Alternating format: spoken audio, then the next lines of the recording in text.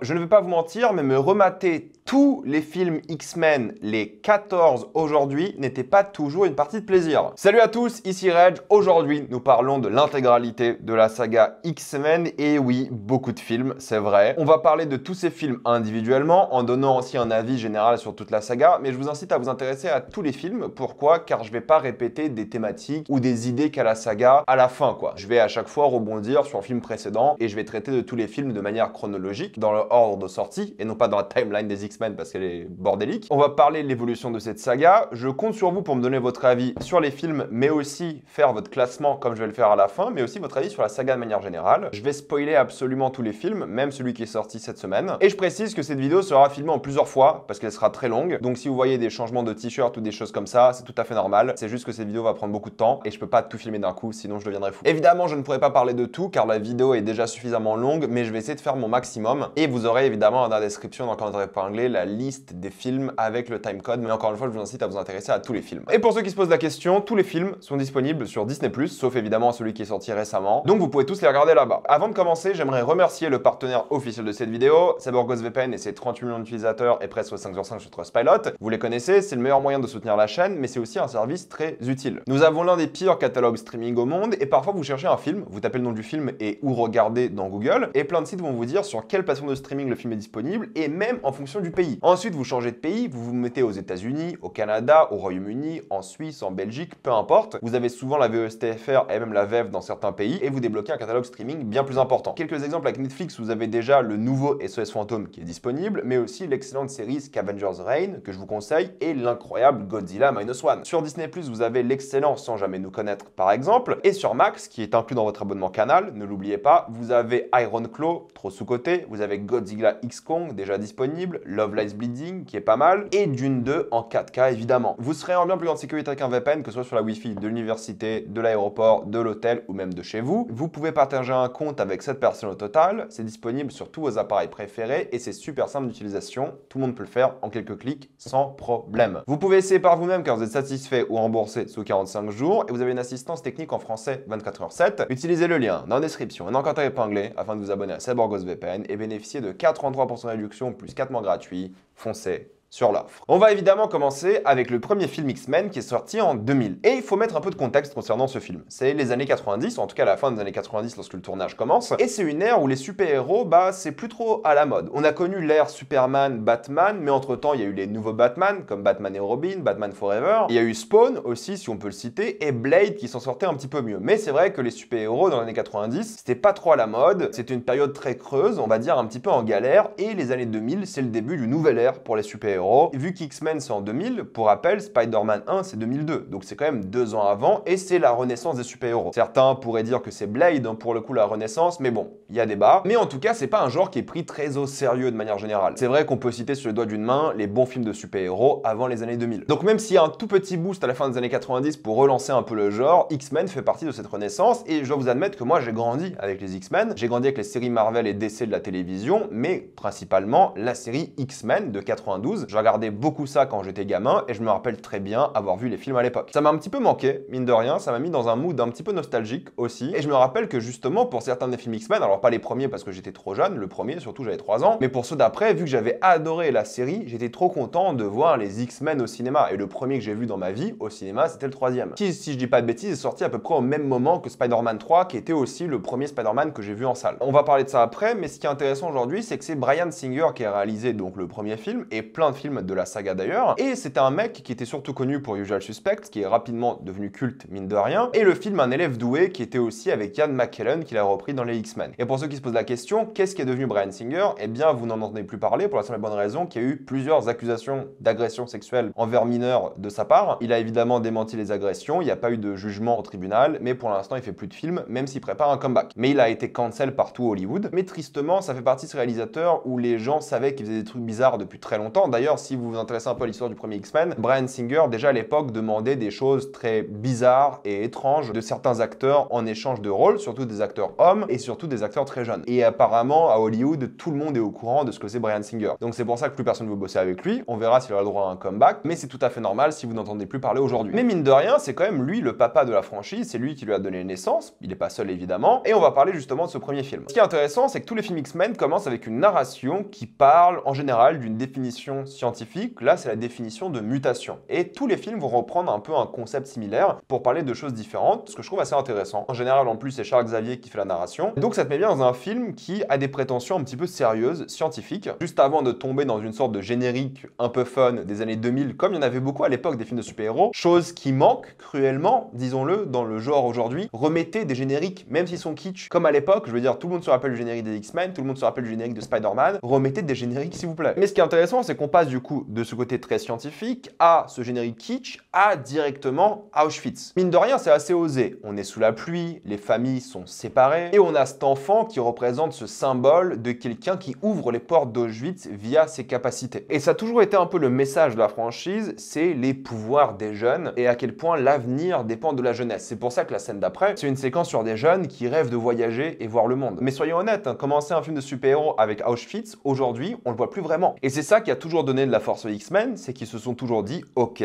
on va parler de choses sérieuses et dramatiques. Chose que les films de super-héros n'osent plus vraiment aujourd'hui, disons les choses. Vous n'allez pas voir le MCU parler d'Auschwitz. Et cette thématique-là avec Auschwitz revient dans toute la saga. C'est probablement la chose la plus importante de la saga en entier. Et je déconne même pas quand je dis ça. Parce que les pouvoirs représentent la jeunesse et la puberté, généralement, et surtout une sorte de malédiction, une sorte de maladie pour certains. Certains la voient comme une punition, certains la voient comme la prochaine étape de l'évolution. Et c'est là qu'entrent des enjeux politiques majeurs. Parce que forcément, les mutants souffrent de la peur qu'ont les humains d'eux, mais en même temps souffrent de leur propre pouvoir. Parce que ou ils sont incontrôlables, ou c'est tout simplement quelque chose qui leur fait du mal physiquement. Et c'est là que le film est intéressant, c'est qu'il parle dès le début, au fait, de racisme, d'apartheid, de séparation des races, parce que vu que c'est la prochaine étape de l'évolution, on considère ces mutants comme une race différente. Et justement, les moments où les politiques mettent en avant des mesures anti-mutants sont félicités. Les droits sont supprimés via des applaudissements, comme ils feraient à l'époque lorsque, par exemple, les droits des Noirs américains étaient supprimés. Et je prends cet exemple des Noirs américains pour une raison très précise. Premièrement, les X-Men ont été créés l'époque des révolutions et des révoltes civiles pour les droits des Noirs américains. D'ailleurs, il y a beaucoup de personnes qui disent que les personnages de Charles Xavier et Magneto ont été inspirés de Martin Luther King et de Malcolm X. Et en faisant des recherches, c'est plus ou moins un mythe. C'est-à-dire qu'ils étaient très conscients de ça à l'époque lorsqu'ils ont écrit les X-Men, hein, les comics à la base, mais en même temps, l'un des créateurs, Chris Claremont, le dit lui-même, il s'est beaucoup inspiré d'Israël et surtout de Menachem Begin, qui était le dirigeant d'un groupe sioniste militaire avant de devenir le premier ministre israélien dans les années 70. C'est son inspiration personnelle à lui et il le dit très bien il a utilisé cette inspiration à lui parce que c'est quelque chose qu'il connaissait bien. Il connaissait bien la vie israélienne, il connaissait bien la culture juive. Et justement, vu qu'il a suivi un peu l'évolution d'Israël des années 40 à 70, quand même, ce qui se passe en Israël à cette époque-là, c'est quelque chose que tu retrouves quand même dans les X-Men. Donc il s'est inspiré de ça, mais il a lui-même dit qu'il n'aurait jamais osé s'inspirer d'autres personnes, surtout des personnes noires, parce qu'il était lui-même pas noir. Personnellement, je trouve pas que c'est un bon argument, mais soit. Mais ce n'est pas pour rien que les X-Men ont toujours eu des personnages de couleurs différentes, de genres différents, d'orientations sexuelles différentes. Ça a toujours été un groupe très divers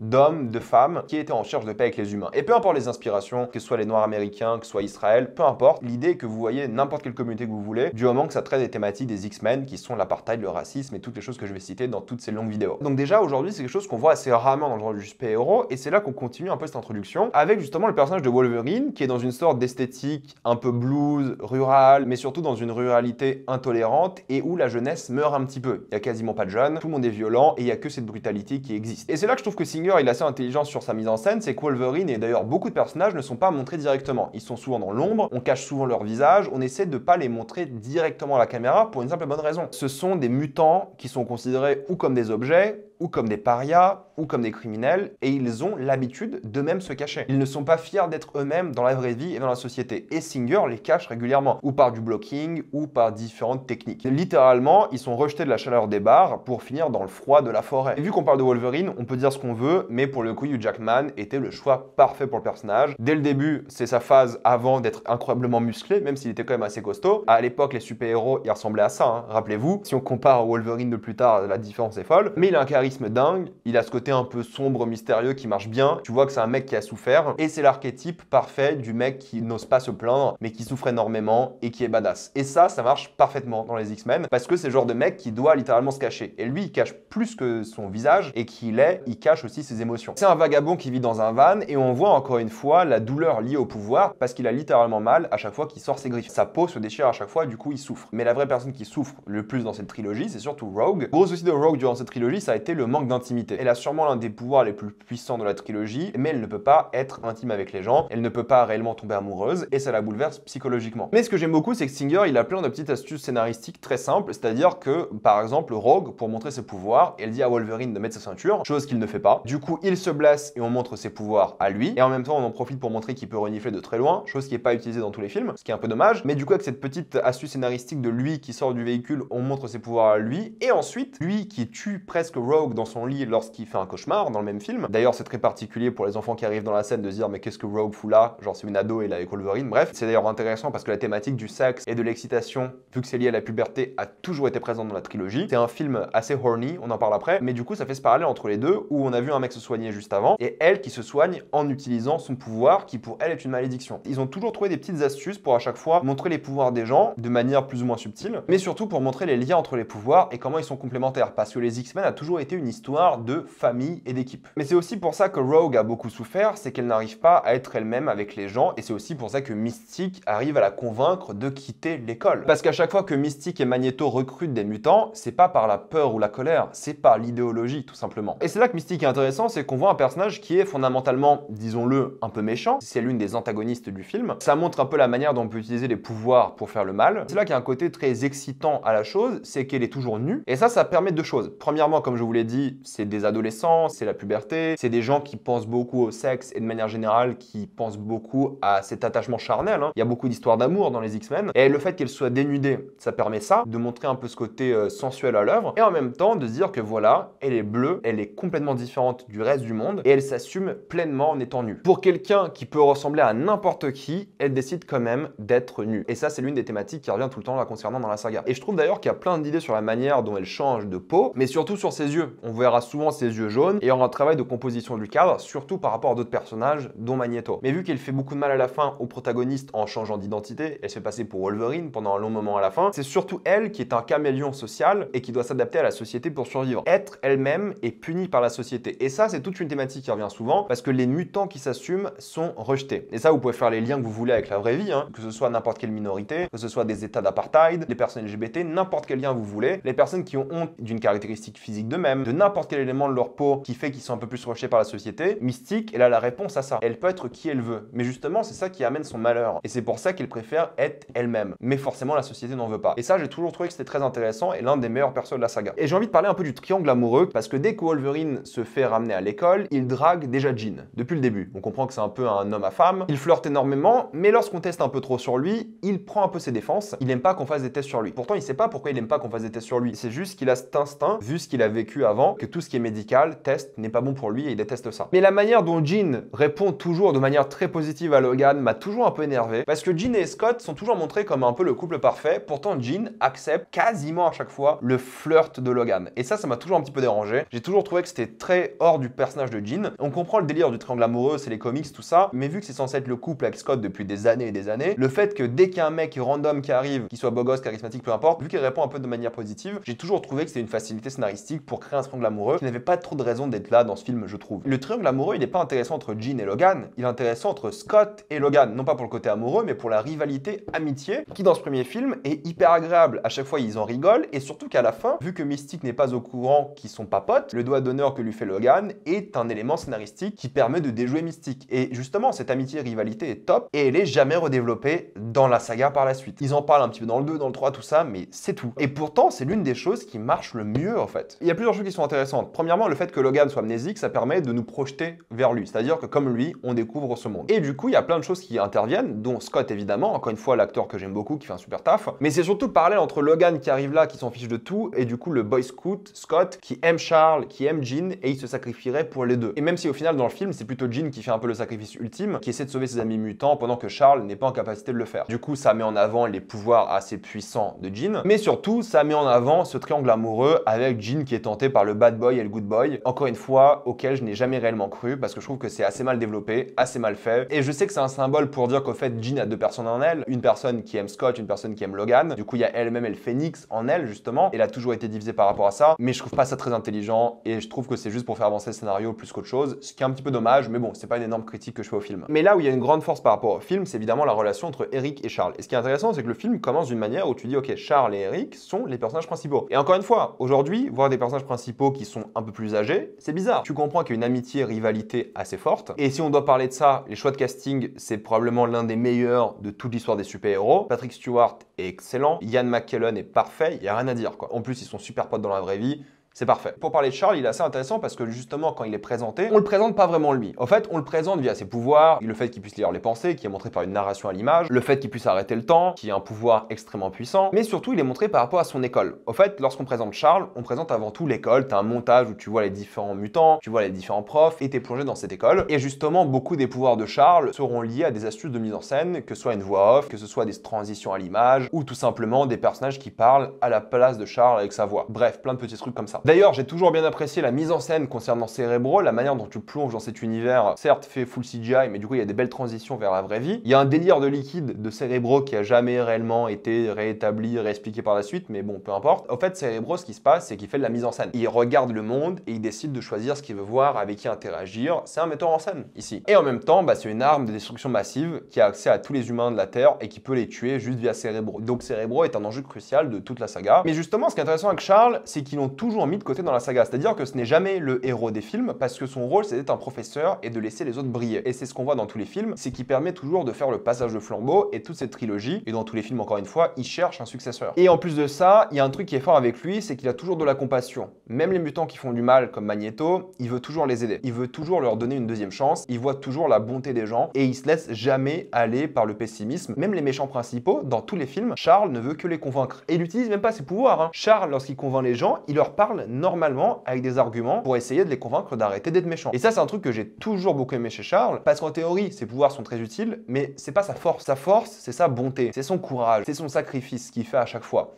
Il est prêt à mourir pour tous ses élèves, et ça, j'ai toujours admiré. Ça en fait un vrai prof qui est toujours là à donner sa vie pour les mutants. Dans le film, le bluff de Magneto, il y croit pas une seule seconde, parce qu'il croit en la beauté des gens. Et justement, c'est montré par ses pouvoirs de communication, et il y a un bon travail qui est fait sur les pouvoirs, comme Magneto, justement. On le voit beaucoup jouer avec ses billes, le fait que pour contrôler le métal, il faut qu'il se concentre physiquement et psychologiquement. Les billes qui bougent, c'est parfait pour la concentration. Et en soi, l'idée de Magneto est pas horrible. Le fait de rendre un sénateur mutant, certes, l'exécution est assez kitsch et assez loufoque, la manière dont il le transforme en mutant, mais l'idée n'est pas horrible. Malheureusement, ça tourne mal, le sénateur meurt. Mais l'idée de rendre tout le monde en mutant, c'est pas une mauvaise idée sur le plan technique. Certes, il n'y a pas de consentement de la part des gens et ça en fait un terroriste, hein, disons-le, parce qu'on le voit avec le sénateur hein, qui souffre vraiment de sa mutation, même s'il y a des scènes qui sont vraiment bien foutues, je trouve, en termes d'effets spéciaux et de prothèses. Genre la transition de la méduse à un homme gélatine, elle est top. C'est ça la différence entre Charles et Magneto, c'est que Magneto voit toujours le mal, mais en même temps, il a envie que les gens le comprennent. C'est-à-dire qu'il veut rendre tout le monde mutant pour que les gens comprennent enfin. Et justement que ces politiques ne puissent plus rien dire parce que tout le monde serait mutant. Mais forcément, c'est une mauvaise idée pour plein de raisons différentes. Et comme Charles, il utilise beaucoup l'idéologie et il utilise surtout même les pouvoirs des mutants contre eux. Il va essayer de retourner tout ce qu'ils peuvent faire contre eux. Mais encore une fois, évidemment, Magneto renonce parce qu'il a un peu d'humanité en lui, puis se fait tabasser par les X-Men et tout. Bon, vous avez compris le délire. Mais ce qui est intéressant, c'est que même si c'est l'antagoniste de ce premier film, il est pas détestable parce que premièrement, l'acteur est charismatique, il gère de fou, mais surtout que tu sens qu'il a beaucoup souffert à cause de ce qu'il a vécu et les gens qui mettent en place les plans en question, c'est des politiques que lui a vécu. Genre enlever des droits à une partie de la population, c'est quelque chose que lui a vécu. C'est pour ça que lorsque vous avez un gouvernement qui enlève des droits,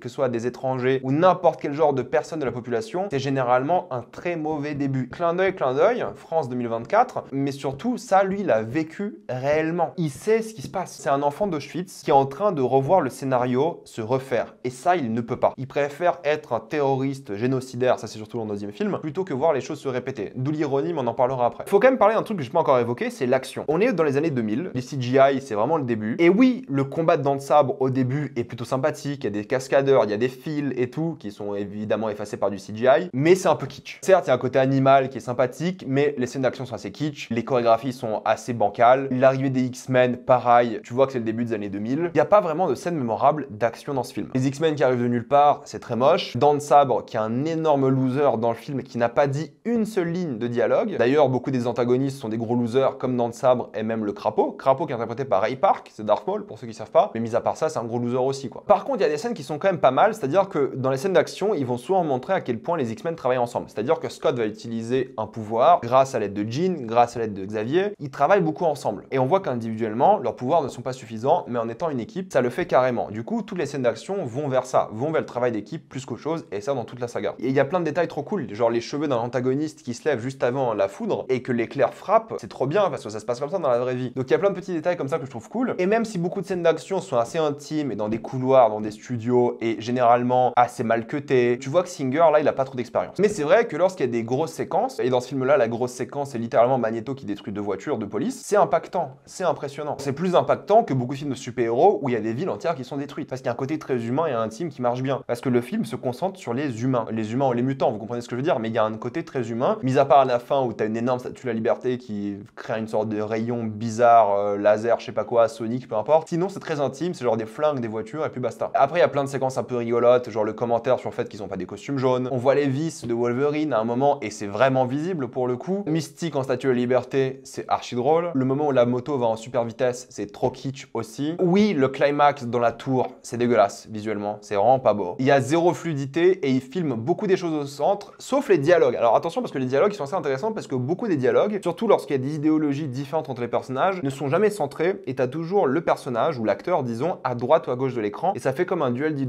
un duel de ping-pong, ce que vous voulez, où ça rebondit d'un plan à l'autre et je trouve que ça c'est une bonne idée. Mais l'action est pas terrible, c'est clair et net, elle est kitsch comme je l'ai dit plein de fois déjà, mais c'est les années 2000. En vrai, ça passe. Oui, Storm à un moment utilise des pouvoirs dans une scène et on apprend qu'elle peut l'utiliser que lorsqu'il y a littéralement genre la foudre au-dessus d'elle ou en tout cas le ciel au-dessus d'elle et après elle les utilise sans qu'il y ait ça. Bon, d'accord. Et le fait que Logan aurait pu couper ses propres os, bref, ça, on s'en tape un petit peu. Oui, le climax, c'est l'impression qu'il manque de budget aussi, c'est vrai. Avec cet énorme matte painting de la ville qui fait encore une fois assez sans parler des effets spéciaux finaux, mais ça passe. Et surtout, ça tease un deuxième film de manière vraiment efficace. J'ai pris beaucoup de temps pour parler de ce film, mais il fallait remettre un peu les personnages et les choses dans leur contexte. Oui, il est assez mal vieilli, mais en vrai, il tente des choses que les films de super-héros ne tentent plus aujourd'hui. Et les films de super-héros auraient dû prendre la direction X-Men. Et je parle pas de sérieux dramatique parce qu'il y a beaucoup de comédies, c'est très kitsch, c'est rigolo, il y a un côté très comique au truc. C'est juste qu'ils se concentrent sur les personnages, sur des enjeux politiques, sociaux intéressants, certes pas subtils, genre l'allégorie elle est simple, mais ils ont pris des acteurs charismatiques qui ont du talent et ils ont voulu raconter une histoire avec du cœur, mais qui est imparfaite. Tu vois qu'en action c'est pas du tout comme il faut, c'est pas au niveau, et tu vas pas te rappeler ça dans le film. Mais en termes de scénario, c'est compact, c'est bien foutu, c'est 1h45, ça passe plutôt vite, c'est imparfait, mais c'est bien. La musique est pas mal, t'as un leitmotiv, un thème qui ressort régulièrement. C'est pas un film qui est beau ou magnifique ou je sais pas quoi, mais il est chaleureux. En fait, il fait du bien. Et tu vois qu'il y a beaucoup de cœur dans ce film, chose qui disparaît avec beaucoup de films de la saga. Donc en tant que début de saga, grosse intro,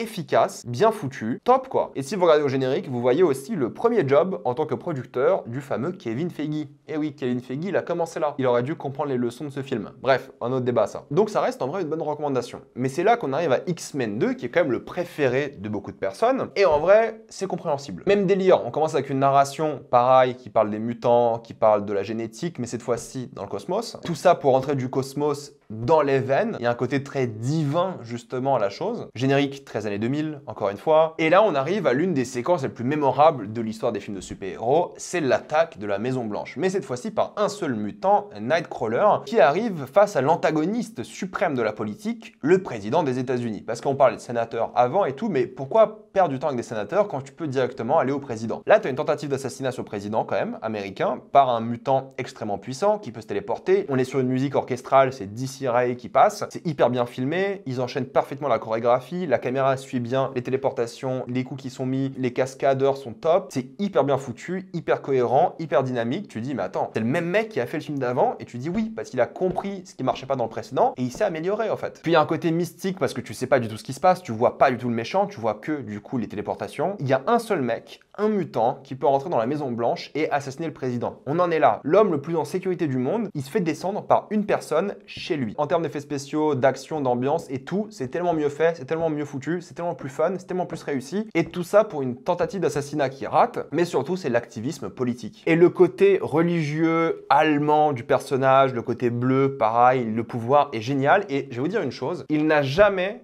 été réutilisé comme ça dans la saga. C'est-à-dire qu'on a Nightcrawler, l'un des personnages les plus cool de la saga, qui est capable de faire des dégâts énormes face à littéralement le président. Et dans la saga, on le revoit jamais utiliser ses pouvoirs. Jamais. Dans tout le reste de la saga, il a qu'une seule compétence, c'est téléporter d'autres personnes à sa place. C'est tout. Il emmène des gens. Il est passé d'un gars trop badass qui se téléporte, qui tue des gens, à Ryanair. Et c'est un peu décevant, honnêtement. J'espère qu'à l'avenir, ils vont réutiliser ce mec de manière badass. Parce que vous vous rappelez, il y a plein de gens qui adorent Quicksilver en disant putain, ces scènes avec lui sont trop incroyables et stylées. Bah, Nightcrawler aurait dû être le Quicksilver de la trilogie, quoi. Mais non. Et ce qui est cool, c'est qu'après, t'as un plan sur des barbelés. Ça fait direct penser à Auschwitz, évidemment. Il y a beaucoup de discussions sur l'évolution. On voit de plus en plus les pouvoirs incontrôlables de Jean qui deviennent un problème. Il y a plein de mutants, tu vois, qui ont du mal à s'intégrer, comme Pyro, qui en plus d'être très puissant, il se moque un petit peu des humains. Tu vois qu'il les méprise un petit peu. Puis t'as ce jeu, cette dichotomie entre lui et Iceman. Et puis Charles, qui depuis le dernier épisode essaie de cacher les mutants. Parce qu'après ce qui s'est passé la dernière fois, bah maintenant les mutants, ils doivent rester discrets. Ils ne sont pas du tout acceptés dans la société. Ils sont dans un état complètement différent et Charles les protège. Encore une fois, c'est la vie de jeunesse, la puberté, Rogue qui ne peut pas avoir de relations sexuelles, qui la déprime réellement. Et ce qui est intéressant ici, c'est surtout Iceman qui a le droit à beaucoup de développement et tous les gens qui l'entourent d'ailleurs, mais il y a plusieurs séquences qui sont cool. On parle d'un truc qui rendrait les mutants humains. Ils vont dans une sorte de camp de rééducation ou de thérapie de conversion comme vous voulez, parce que le parallèle LGBT est beaucoup fait dans cet épisode-là. Si j'ai pas de bêtises, Brian Singer est ouvertement homosexuel ou en tout cas bisexuel. Et depuis que j'ai vu cette scène-là et quelqu'un a dit que c'est une scène extrêmement gay, plus tu y penses, plus tu te dis ouais c'est gay. Et c'est pas gay en mode ouais c'est un étudiant avec son prof, c'est pas ça. Il y a un truc très sensuel à quelqu'un qui souffle de la glace sur la bouteille d'un mec, mec qui est en débardeur, musclé, poilu. T'as un truc un peu LGBT. En plus, ils vont remplacer la musique par un truc un peu homo-érotique, c'est très drôle. Mais c'est marrant parce qu'en fait, c'est en lien avec le film, parce qu'on parle de ça. Genre, littéralement, Iceman, il fait son coming out à sa famille, mais c'est pas son coming out LGBT, c'est son coming out mutant. Sa famille homophobe ne l'accepte pas, tellement que son frère, à la fois jaloux et homophobe, appelle la police. En plus, comme beaucoup de personnes homosexuelles, les mutants se cachent. La police arrive sur scène, Pyro voit les dégâts de la police qui tue littéralement un mec, certes qui se soigne, et se radicalise. Le mec, il a vu la police une fois, il s'est radicalisé à mort, quoi. Et à cause de sa misanthropie que Magneto va réussir à le recruter quand il lui dit qu'il est un dieu parmi les insectes. Et en vrai, il a raison. Il peut contrôler le feu. Les dégâts qu'il peut faire sont hors du commun. Et surtout qu'il voit la famille de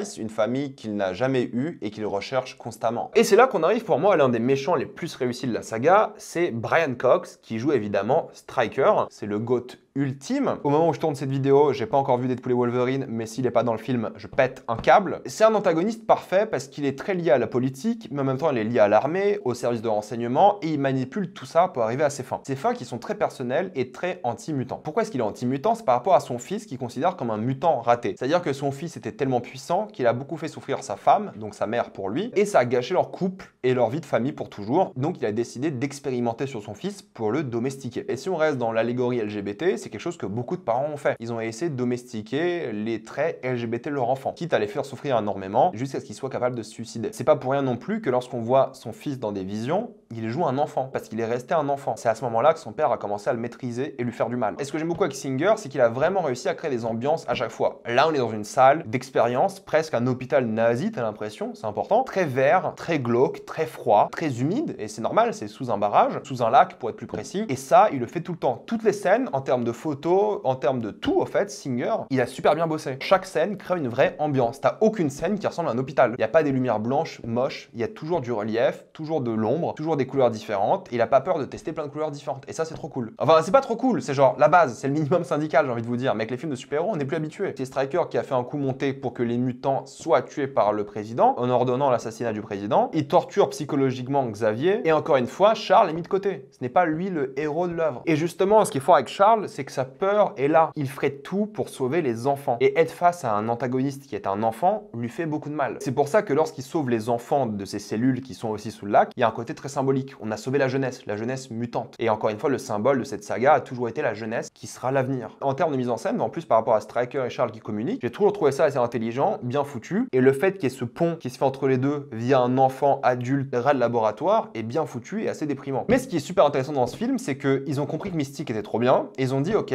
Mystique sera un protagoniste dans cette œuvre, toujours très proche du gouvernement, très proche de Magneto, elle organise évidemment son échappatoire. Et cette évasion-là, elle est faite grâce à son côté de femme fatale. On la suit, elle, durant plusieurs étapes afin qu'elle arrive à ses objectifs. C'est clairement un protagoniste de l'œuvre, en tout cas narrativement, et vu ses pouvoirs qu'elle utilise plein de fois, c'est fascinant. En plus du côté femme fatale, elle prend l'apparence de plein de personnes différentes. Et t'as cette belle séquence d'ailleurs où Nightcrawler lui pose la question pourquoi est-ce que tu décides de rester bleu? Parce que lui, il aimerait être invisible. Lui, son apparence, en plus, il est un petit peu déformé, disons, par rapport à des humains. Il aimerait être humain. Et Mystique lui répond un truc logique et lui dit juste nous n'avons pas de raison de nous cacher. J'ai toujours trouvé ça un peu particulier le fait que Mystique drague Logan en étant Jean, mais depuis qu'elle lui a fait du mal, elle est attirée à Logan et puis il un côté très femme fatale à Logan et tu demandes vraiment c'est quoi le but? Est-ce qu'il est là pour rentrer dans la tête de Logan et se dire ok, il aime bien Jean, je vais le voir pour lui rentrer dans la tête À quel but? Peut-être pour le manipuler, l'attirer vers lui et Magneto, on n'en sait rien. Ou aussi pour peut-être s'imprégner un peu ce personnage, dont elle prend l'apparence juste après. C'est quand même assez drôle de passer de l'attirance sexuelle de Jean à Striker dans la même scène. Il y a un côté très, il a envie de rencontrer son créateur, mais le fait d'assimiler ça au sexe, et je trouve assez intéressant. Mais c'est là que Magneto est intéressant. Premièrement, le fait que Magneto tue quelqu'un en utilisant le fer dans son sang, c'est épique, parce que pour ceux qui savent pas, c'est du vrai fer hein, que vous avez dans votre sang. On n'a pas juste appelé ça comme ça sans raison. Et encore une fois, Brian Singer, lorsqu'il faut montrer les pouvoirs des gens, il est trop fort. Il arrive à les iconiser, les rendre épiques. Il y a toujours une musique orchestrale qui les accompagne et c'est parfois même super violent. C'est top. Et ce qui est intéressant, c'est que du coup, tu dis attends, là, ils vont faire équipe avec l'antagoniste du premier film, mais tu te poses jamais cette question parce qu'en fait, l'alliance est tellement logique. Et Magneto est un personnage qui est certes, on va dire, pas détestable, mais un méchant. Mais tu te poses jamais la question. Tu dis ok, c'est juste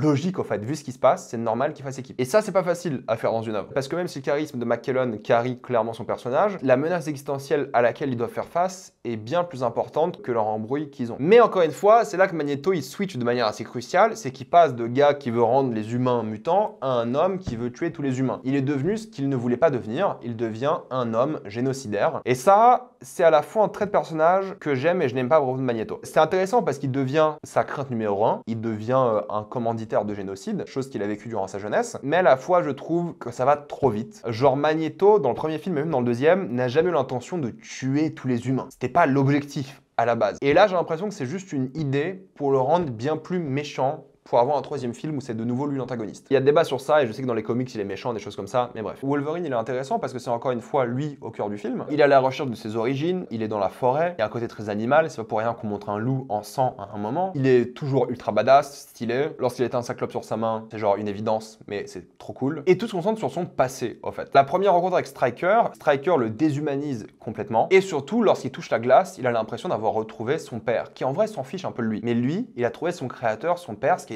très important. Mais du coup, avoir les humains en ennemis, c'est super intéressant parce qu'ils font cette fois-ci face à des gens normaux. Certes, des militaires, mais des gens normaux. Là où avant, c'était d'autres mutants. Et justement, lui qui cherche son père, Logan, ici, doit devenir une sorte de père, ou en tout cas de leader, à des enfants, des adolescents, et il a envie de les aider. Et il est là son évolution. Mais encore une fois, je trouve qu'il drague un peu trop lourdement, Jean, pour le coup. Ils s'embrassent, ils ont certes une bonne alchimie, mais j'ai jamais cru. Vraiment, c'est presque de l'harcèlement plus qu'autre chose. Jean, elle n'est pas montrée comme ça dans les films. Mais en tout cas, ce qui est intéressant, c'est surtout le passé, encore une fois, et surtout la manière dont il est ramené un animal. Il parle souvent de griffes. Les griffes, c'est pas quelque chose d'humain. Mais c'est là que l'action est bien meilleure. Lorsque l'école est attaquée, c'est super. C'est une séquence un peu d'infiltration. Il y a des super lumières avec l'hélico qui fait la lumière, tous les mutants qui doivent être discrets, les militaires qui sont discrets, Logan qui utilise ses sens développés. En vrai, c'est une séquence qui est super. Il y a des longs mouvements de caméra, on est immergé dans l'ambiance, c'est génial. La violence de Logan est jouissive, lorsqu'il crie, c'est toujours top. Hugh Jackman, quand il le fait, c'est génial. Clairement, les scènes d'action sont mieux filmées, mieux gérées. L'école fait un petit peu vide, mais au moins ça permet de créer une ambiance spéciale. Et la séquence du manoir est l'une des plus mémorables, d'après moi, de la saga. Après, il y a des choses un peu particulières, comme Storm, qui est absolument trop puissante avec ses pouvoirs, et la séquence avec les missiles est pas la chose la plus intéressante, ni visuellement, ni scénaristiquement, même si ça permet de développer les pouvoirs et les relations, encore une fois, entre les mutants, qui travaillent ensemble. Mais c'est marrant parce que Nightcrawler qui utilise ses pouvoirs pour justement sauver Rogue, pour juste après revenir, alors que plus tard il va nous dire qu'il a du mal à se téléporter s'il voit pas quelque chose. Bon, bref, c'est un détail. Mais encore une fois, le combat de Cyclops et Jean, j'y crois pas parce que du coup, Cyclops n'est pas présent durant tout le film. Jean à peine aussi en soi, et vu qu'ils sont censés être amoureux, mais que t'as jamais vu cet amour réellement, t'y crois pas trop. Et du coup, le combat n'a pas trop d'impact émotionnel et il n'est pas très intéressant visuellement non plus. C'est un petit peu dommage. Et Cyclope fait partie de ces gros gâchis de la saga. Par contre, l'idée du barrage qui est détruit, c'est une très bonne idée. Il y a un compte à rebours qui est très efficace. Le passé de Wolverine qui est montré via des flashbacks est très stylé. En plein milieu de l'action, je trouve que c'est pareil, vraiment bien foutu. Le combat contre quelqu'un qui a des pouvoirs similaires à lui est très intéressant, thématiquement, en termes d'action, c'est court, mais bien filmé, assez brutal. Et t'as un mouvement de caméra qui est génial parce que t'as une sorte de caméra sur une tyrolienne. Et c'est dur de vous montrer sans me faire complètement bannir. Mais en fait, si vous regardez cette séquence, la caméra va sur la tyrolienne et la tyrolienne arrive au bout et elle revient en arrière. Il y a une sorte de rebond. Et le rebond est gardé à l'image parce que c'est stylé. Un film aujourd'hui l'aurait pas gardé. Et ça, j'aime beaucoup. C'est une bonne scène d'action qui est bien filmée parce qu'elle est cohérente dans les mouvements. La caméra suit bien les mouvements et les différentes attaques. Ils bougent beaucoup dans la pièce. Ils utilisent évidemment leur environnement. Ils font des dégâts avec leurs griffes. Vu qu'ils peuvent tous les deux se régénérer, ils se mettent des vrais coups assez hardcore. La mort est hyper dramatique et crade. Et ce qui est cool, c'est qu'il regrette d'avoir tué quelqu'un qui lui ressemble. Et ça, c'est assez touchant parce qu'il cherchait des réponses à son passé qu'il ne peut plus avoir aujourd'hui. Le sacrifice de Jean est assez émouvant. La transformation en phénix, est teasée depuis le premier film. La fin est glaçante par rapport aux mutants qui arrêtent le temps et qui arrivent devant le président et qui lui disent qu'ils ne sont pas si méchants que ça. C'est génial en termes de photos avec la foudre et tout. C'est top. Et t'as un sacré cliffhanger qui prépare quand même le troisième film et la guerre qui arrive ici. Et pour conclure, X-Men 2 est vraiment bien. Il est vraiment top, ça fait partie de ces pépites en termes de films de super-héros, il a rien à dire. C'est une vraie réussite, mature, intelligente, il s'est clairement amélioré par rapport au premier film. Tout est mieux, c'est pas parfait encore une fois je trouve, mais c'est un bon kiff de 2h15 qui fait partie de ces suites qui est meilleur que l'original, ce qui est pas très courant, mais il en fait partie et c'est vraiment bien. C'est un peu inégal, mais c'est divertissant, c'est compact, c'est bien foutu, c'est complet, et c'est de loin le meilleur de la trilogie. Mais c'est là que tu te dis, ok, la trilogie va se conclure, c'est prévu, il y aura que trois films. Ok, on va finir en beauté, et là, premier souci, X-Men 3 n'est pas réalisé par Brian Singer, mais plutôt par un autre homme. C'est Brett Ratner qui s'en occupe, qui était le réalisateur, entre autres, de la saga Rush Hour. Bon, choix particulier pour faire X-Men, mais pourquoi pas Pourquoi est-ce que Brian Singer n'était pas présent? C'est qu'il était occupé sur un autre film qui s'appelait Superman Returns. Est-ce que je dois en dire plus que ça? Donc on arrive à la conclusion de la trilogie épique qui cartonne au cinéma, qui a ressuscité le genre du super-héros avec Spider-Man. On est hyper content de voir ce que ça va donner et ça dure 1h40. Le choc. En vrai, c'est pas un souci en soi, mais c'est le plus court de la trilogie. Tu dis, comment c'est possible? Mais c'est pas grave, vu qu'ils ont tous les enjeux, tous les personnages, on va juste aller à la guerre et c'est fini vous êtes naïf. Et c'est là qu'on a introduit à Simon Kinberg, qui sera très important dans la suite de la saga X-Men. Il scénarise ici pour la première fois un film X-Men, et il sera évidemment de retour et à la réal et au scénario pour la suite. Est-ce que c'est une bonne chose? On pourra en débattre. Et pour casser un peu la tradition, le film ne commence pas avec une narration. Super. Mais surtout, on a le droit à une scène lorsque Charles et Magneto sont amis, sur la jeunesse de Jean et le début de ses pouvoirs. Scène sympathique, basique, bonne intro, un peu glaçante, c'est génial. Par contre, le rajeunissement sur Patrick Stewart, qui a la même gueule depuis genre les années 70 et sur Ian McKellen qui a la même gueule depuis les années 90, tu dis pourquoi ils ont fait ça? Pourquoi ils ont rajeuni virtuellement ces deux-là quoi? Mais tu vois l'équipe Charles Magneto, leur alchimie est top, c'est une bonne scène d'intro en vrai. Ça remet les enjeux, tu dis ok, elle sera le grand méchant de ce film, le fameux Dark Phoenix, on n'est pas prêt. Et on n'est pas prêt parce qu'on va jamais le voir. Mais bref, un autre détail. Mais ensuite, deuxième scène d'intro, ce qui est quand même assez particulier parce qu'avant le générique, on montre une scène avec Angèle, Angèle qui est jeune, qui a honte de son corps, qui veut se le cacher parce que son père est un mutantphobe et il se coupe littéralement les ailes. Donc il essaie d'annuler sa transformation en se faisant du mal physiquement et psychologiquement. Mais l'objectif de cette scène, c'est de motiver son père à lutter contre les mutants avant tout. Et je trouve l'addition de Angèle ici inutile. Personnage qui ne sert à rien. Mis à part pour faire plaisir aux fans de comics, son addition ici n'a aucun sens. Il y a une séquence qui est belle par rapport aux mutants qui suppriment les pouvoirs des autres mutants où il voit justement Angel, j'ai dit Angel comme si c'était un prénom français, Angel voler alors que lui il est prisonnier. C'est la seule séquence où il est utile. Pourtant, tu l'as en scène d'intro, tu dis il sera utile, il va être important, que dalle. Autre personnage qui est introduit, c'est Hank ou Beast ou la bête, je crois en français, peu importe. Personnage très politique, littéralement c'est un homme politique qui se bat pour la cause des mutants. C'est des super prothèses, super costumes, j'aime beaucoup son design. Et je trouve qu'il a droit à une belle scène, encore une fois, où il voit sa peau d'humain qu'il a pas dû voir depuis toute sa vie en fait. Et ça crée une scène intéressante parce que justement, le fait de voir ça, ça l'attire d'une certaine manière à prendre ce vaccin et ne plus être un mutant. Ce que je trouve bien, je trouve que même un mec comme lui, montrer son envie d'être humain alors qu'il se bat pour les mutants littéralement, c'est une scène assez forte parce que du coup, tu comprends pourquoi d'autres mutants très jeunes, comme Rogue par exemple, veulent se faire vacciner. Et en plus de ça, la relation entre Hugh Jackman et Hank, elle est là un peu pour remplacer la relation qu'il avait avec Cyclope, cette relation d'amitié-rivalité qui est pas mal. Ça tease les sentinelles qu'on a attendu en live action, surtout si vous avez grandi comme moi avec la série de l'époque pendant des années. Ça introduit Elliot Page qui joue donc Kitty, encore un nouveau personnage, des bons effets spéciaux, une photo sympathique, t'as l'impression que c'est l'apocalypse. C'est réussi et ça parle justement des X-Men qui ne font plus équipe et qui se jouent solo, alors que pour gagner, il faut faire équipe. Rogue est intéressante encore une fois parce qu'elle veut se faire vacciner, elle a envie de connaître de l'amour qu'elle ne peut pas, cet amour est impossible ici, et surtout elle est jalouse de Kitty parce que elle, elle peut ressentir l'amour contrairement à Rogue, et elle veut changer pour un garçon. Et t'as même Wolverine qui se moque d'elle en lui disant Tu vas pas te vacciner pour un garçon, t'as un pouvoir unique, incroyable, change pas pour un mec. Et c'est là que tu comprends direct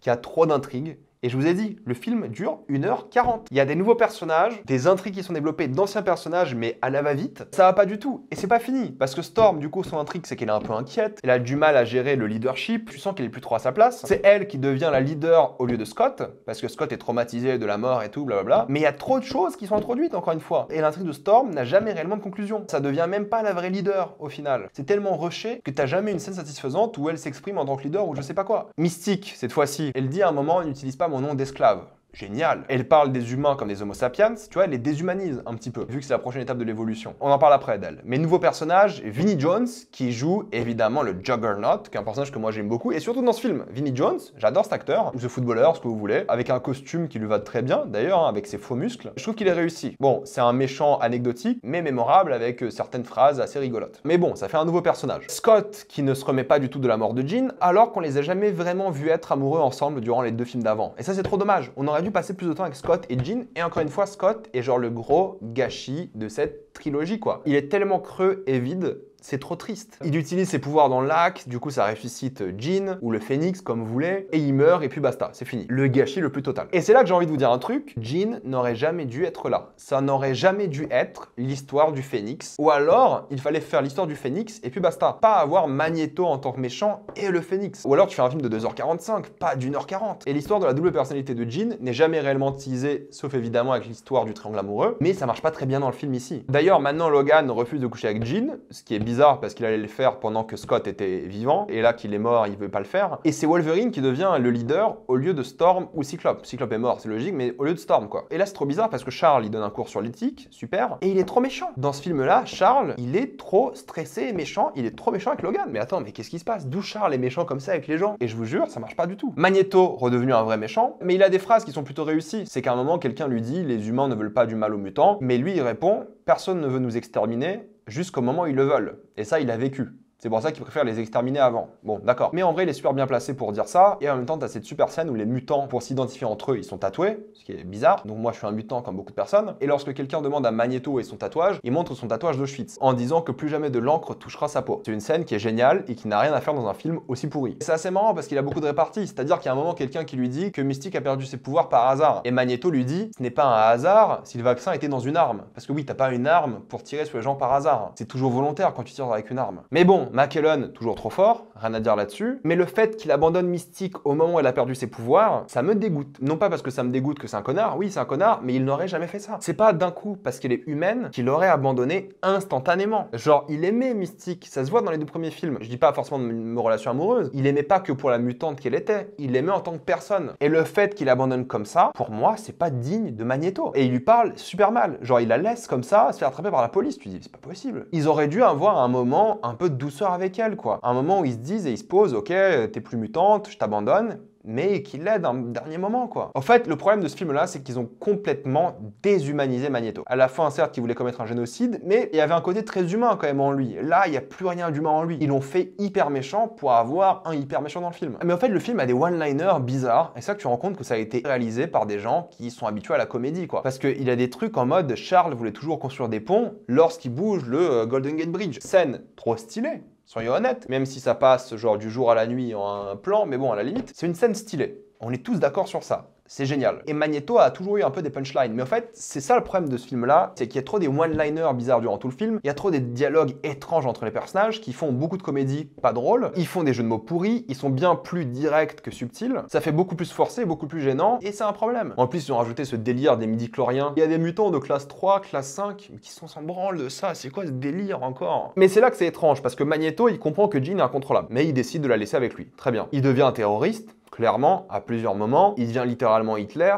super, l'ironie du truc. Et Magneto qui sacrifie ses mutants. Certes, vous allez me dire, non, mais t'as pas vu, à la fin de X-Men, je sais pas quoi, quand il joue aux échecs, Magneto, il est prêt à sacrifier ses pions, ses symboles de son personnage qui sacrifie les mutants. Je suis pas d'accord. Même s'il y a certains mutants dont il s'en fout, les sacrifier sans raison, scénaristique, c'est stupide. Oui, non, mais c'est pour qu'ils vident leurs munitions sur les mutants inutiles. Je suis désolé, Magneto, il a pas eu cette évolution qui mérite ça, en tout cas, dans cette trilogie. Et c'est là le souci, en fait. C'est qu'en termes de réalisation, c'est moche. C'est-à-dire qu'il n'y a pas d'idée de mise en scène. La photo, on est passé sur blanc. Là où il y avait l'ambiance, des couleurs différentes, et un travail sur les ombres, la composition des cadres, là, il n'y a plus rien. Mais rien du tout. Les scènes d'action sont mal filmées, aucune cohérence, on dirait plus X-Men un qu'autre chose, beaucoup moins stylisé, et c'est un film qui est trop éclairé, genre bêtement, comme genre une vidéo YouTube, plus qu'autre chose quoi. La mort de Charles, en théorie, elle est censée être dramatique, Jean qui perd le contrôle, qui tue Charles, une super séquence où la maison est à l'envers et tout le monde est tiré vers le haut, c'est génial en soi. Mais juste avant, t'as Storm qui fait la toupie, t'as littéralement Juggernaut qui jette Logan dans la maison dans laquelle il doit pas aller et qui protège, et la mort de Charles est dramatique, mais pas émouvante, je trouve, parce qu'elle est stupide. C'est juste que lui et Magneto sont hyper têtus dans cette séquence-là. Et Magneto essaie de faire buter Charles et après il le regrette. La bataille finale est hideuse, charcutée au montage, les combats au corps à corps sont incompréhensibles. En plus, ils se battent tous au corps à corps alors qu'ils ont quasiment tous des pouvoirs de loin, quoi. Ils disent un moment qu'ils travaillent en équipe à la fin alors qu'ils font exactement la même chose que littéralement au début, genre la même technique. Le combat Pyro Iceman qui est utilisé depuis le deuxième film, c'est un anti-climax qui dure deux secondes, c'est nul. Jean n'a rien fait durant tout le film et d'un coup elle arrive et désintègre tout le monde. En fait, elle a pas de personnalité, elle fait rien. Elle suit Magneto comme une débile et elle fait rien. Elle sert à quoi? Rien. Le pire, c'est que Magneto, il fait le choquer. Il se dit Oh putain, elle a désintégré tout le monde mais tu l'as vu faire, tu l'as vu hors de contrôle. Et il dit une phrase en mode Putain, qu'est-ce que j'ai fait? Mais espèce de débile. Alors oui, voir Logan se désintégrer et se soigner en même temps, c'est stylé, j'avoue. Mais c'est tellement pas mérité comme climax, c'est tellement nul. c'est nul. Et le pire, c'est quoi? À la fin, ils disent que le problème est réglé politiquement, alors qu'ils ont commis des actes terroristes et failli génocider le monde. Et puis c'est Logan qui devient le leader à la fin. C'est pas possible. Il y a même un teasing sur Charles. C'est une fin de trilogie tellement rushée, tellement peu satisfaisante. C'est genre le pire climax. En fait, ils ont dû paniquer. Ils ont dit, OK, Singer est parti, qu'est-ce qu'on fait? Ça va rapporter de la thune, faut qu'on finisse la saga. Et ils ont fait un film d'une heure quarante en introduisant plein de personnages, plein d'intrigues différentes. Et c'est horrible. Mal développé ou pas développé du tout. Les arcs qui se finissent jamais, les dialogues nuls, l'action nulle. Honnêtement, celui-ci a rien qui va. C'est nul. C'est l'une des pires conclusions de trilogie de l'histoire du cinéma. C'est vraiment catastrophique. Ça ne va pas du tout, je vous jure. Heureusement que le prochain film est meilleur, n'est-ce pas? Avant de continuer cette vidéo, pensez à utiliser le le lien dans la description, dans le commentaire épinglé, afin de vous abonner à tous les points de streaming en toute accessibilité et sécurité. Tout ça pour 2,3€ par mois plus 4 mois gratuits. Foncez sur l'offre. C'est là qu'on arrive au premier film spin-off de la saga X-Men. Et oui, il y en a eu tellement des films spin-off, n'est-ce pas? En tout cas, c'était le but à la base, parce que ce film s'appelle X-Men Origins, 2.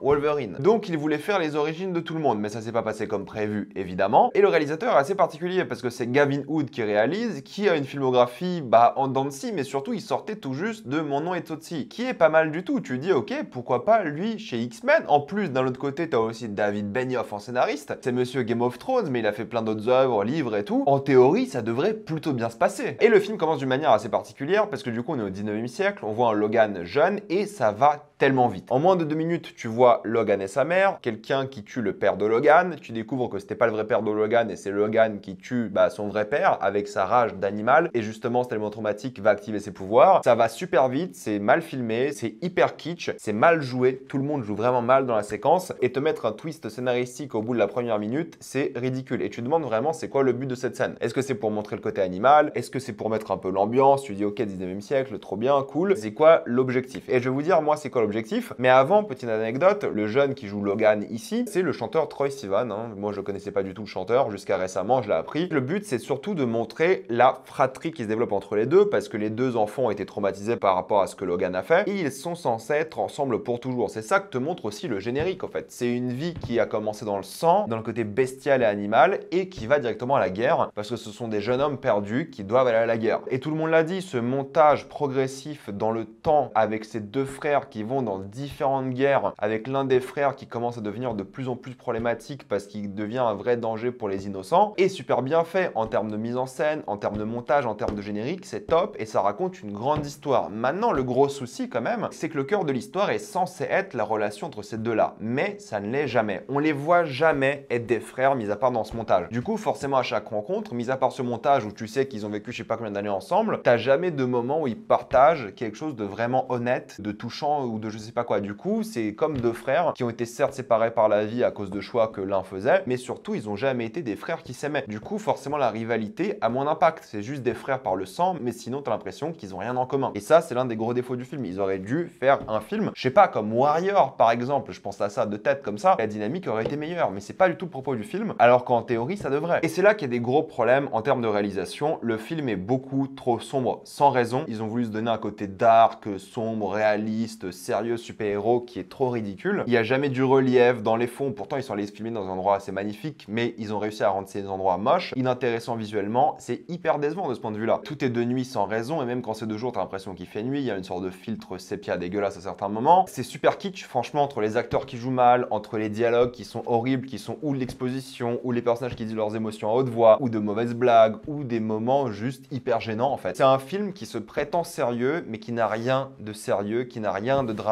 C'est un film ultra mélo, qui est dans la lignée des films de super-héros de la Fox tout pourri de l'époque. Lorsque ton film arrive à rendre la beauté de la nature moche, il y a un véritable problème. Et les gens vont dire non mais c'est le but, c'est être sombre et tout, ça montre la psychologie du personnage, c'est moche. C'est mal filmé, le rythme est catastrophique, et le montage est tout aussi mauvais comme toutes les scènes d'action, mais on en parle après. Le gros souci, c'est surtout le scénario, ici tout de même. Au lieu de se concentrer sur les frères, on se concentre sur les différents mutants qui sont introduits, parce qu'ensuite, il y aura une enquête par rapport aux mutants, et il faudra les retrouver. Du coup, tu passes un petit peu de temps avec ces nouveaux mutants, juste pour les présenter chacun rapidement, avec quelques phrases de dialogue et en montrant leur pouvoir. Ça parle des origines de l'adamantium, très bien, ça parle des États-Unis et surtout des mercenaires américains qui viennent piller l'Afrique, ce qui en soi pourrait être intéressant, mais c'est peu développé, surtout lorsqu'ils massacrent des innocents. Mais l'objectif, c'est surtout de montrer la bestialité de l'un des frères par rapport à l'autre. Mais c'est marrant parce que dans la saga X-Men, à ce stade-là, on a toujours vu Logan comme une sorte d'animal et ça a toujours été un débat sur le fait que c'est un animal ou pas. Et là, en fait, il est très modéré et c'est son frère, le vrai animal. Et il a jamais rien d'animal, lui, dans ce film. Ça a toujours été quelqu'un avec la tête froide. C'est assez marrant de le voir comme ça, mais bon, peu importe. Vous pouvez dire qu'il y a une thématique sur la guerre qui rend automatiquement les soldats violents et tout, pourquoi pas. Les traumatismes de guerre, si vous voulez, mais c'est pas assez développé, ils en parlent pas assez. Pourtant, il y a une belle histoire à raconter ici. Des gens qui ont vécu plein de guerres, qui sont traumatisés, qui ont vécu la violence, t'aurais pu faire une vraie rivalité avec eux et t'aurais pu raconter l'histoire de deux frères avec des super pouvoirs. De même, les mutants qui deviennent des créatures de cirque aussi, c'est intéressant. Mais on passe limite plus de temps sur le développement des anciens amis de Logan de cette équipe, amis entre guillemets, coéquipés si vous préférez, que Logan en soi. Je veux dire, il y a même Cyclops qui est présent dans le film sans raison. C'est juste que probablement le prochain film X-Men Origins qu'il voulait faire allait être sur lui. Oui, on pourrait dire que ça parle des expériences scientifiques qui sont faites par les gouvernements ou les services secrets, très bien, des choses assez immorales, peu éthiques, pourquoi pas, mais c'est très superficiel. Le fait que ce soit cliché, moi, me dérange pas, mais c'est surtout inintéressant en fait. Ça fait trop film qui essaie d'être subversif, alors que les films d'avant étaient pas du tout comme ça. Juste, ils essaient de raconter des histoires de personnages intéressantes avant tout, avec des thématiques sociales intéressantes qui sont pas présentes ici. On est là pour développer du lore,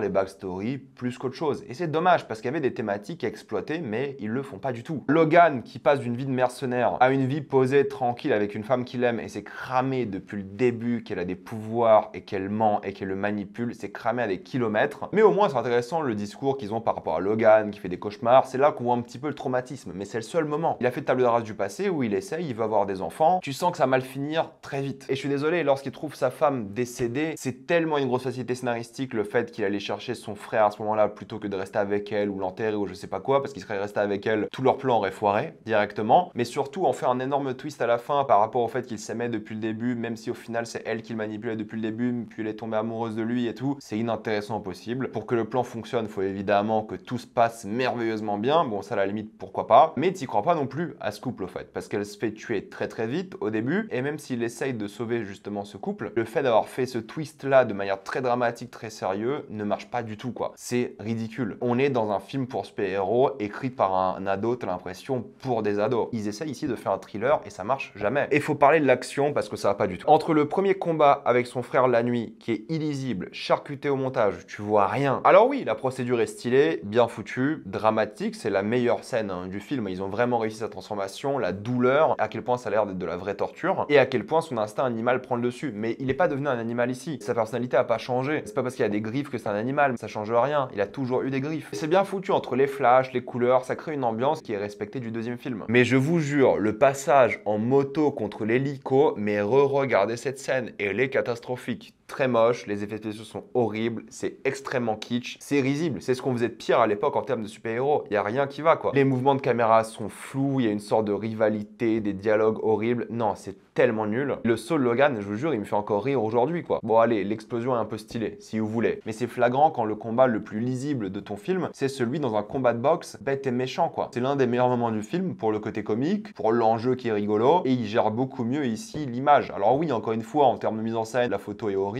très basique, mais au moins ça crée un peu de fraîcheur quoi. Et parlons de la scène avec Gambit, elle est de une très mal foutue, on voit encore une fois que dalle durant la scène de nuit, Gambit est ridicule, alors au début avec les cartes et tout c'est un peu sympa, mais lorsqu'il monte sur un bâtiment pour ressauter par terre pendant que les deux autres se battent, deuxième combat entre les deux, puis après Logan qui détruit complètement un escalier avec ses griffes et tout, c'est trop drôle, c'est pas censé être drôle en fait. Et il y a un troisième combat entre les deux où il lui dit d'utiliser sa rage pour faire du mal à son frère, son frère qui n'a jamais été développé quoi, mis à part le fait que c'est un animal, c'est tout. Il y a zéro développement, zéro alchimie entre les deux et le dernier combat est nul aussi. De toute façon, il c'est même pas un combat. Et oui, les gens vont gueuler Deadpool, c'est horrible ce qu'ils lui ont fait, c'est pas vraiment Deadpool, on est d'accord, on va pas reparler de ça. On sait qu'ils sont complètement travesti le personnage, c'est pas bon du tout, on est d'accord. Mais le problème, c'est que le combat est nul aussi. Hein. Déjà de une, d'où c'est lui le méchant final du film. C'est un climax qui met pas du tout en avant cet enjeu-là. Mais la question qu'il faut se poser, c'est pourquoi scénaristiquement il monte là-bas. Bon, bref. Mais le combat est trop cuté. Je dirais pas qu'il est illisible aussi, mais il raconte rien, ce combat narrativement en fait. C'est censé être le climax du film et il ne dit rien sur rien. Maintenant, les deux frères font alliance comme ça d'un coup, comme à l'époque dans le générique. Super, les frères que t'as pas du tout développé. Et là, c'est devenu trop cartoonesque, c'est faussement mature, encore une fois. C'est un petit calvaire, hein, ce film. Gambit qui arrive de nulle part, les deux qui sautent de la centrale. On se pose même plus de questions là. Au moins, l'idée de la balle en adamantium est plutôt bonne, je trouve. J'aime beaucoup ce qu'ils ont fait avec et j'aime beaucoup le concept. Mais le fait d'avoir ajouté Charles ici et de vouloir toujours faire le lien avec tous les films, parce que ça qu'ils voulaient faire à la base,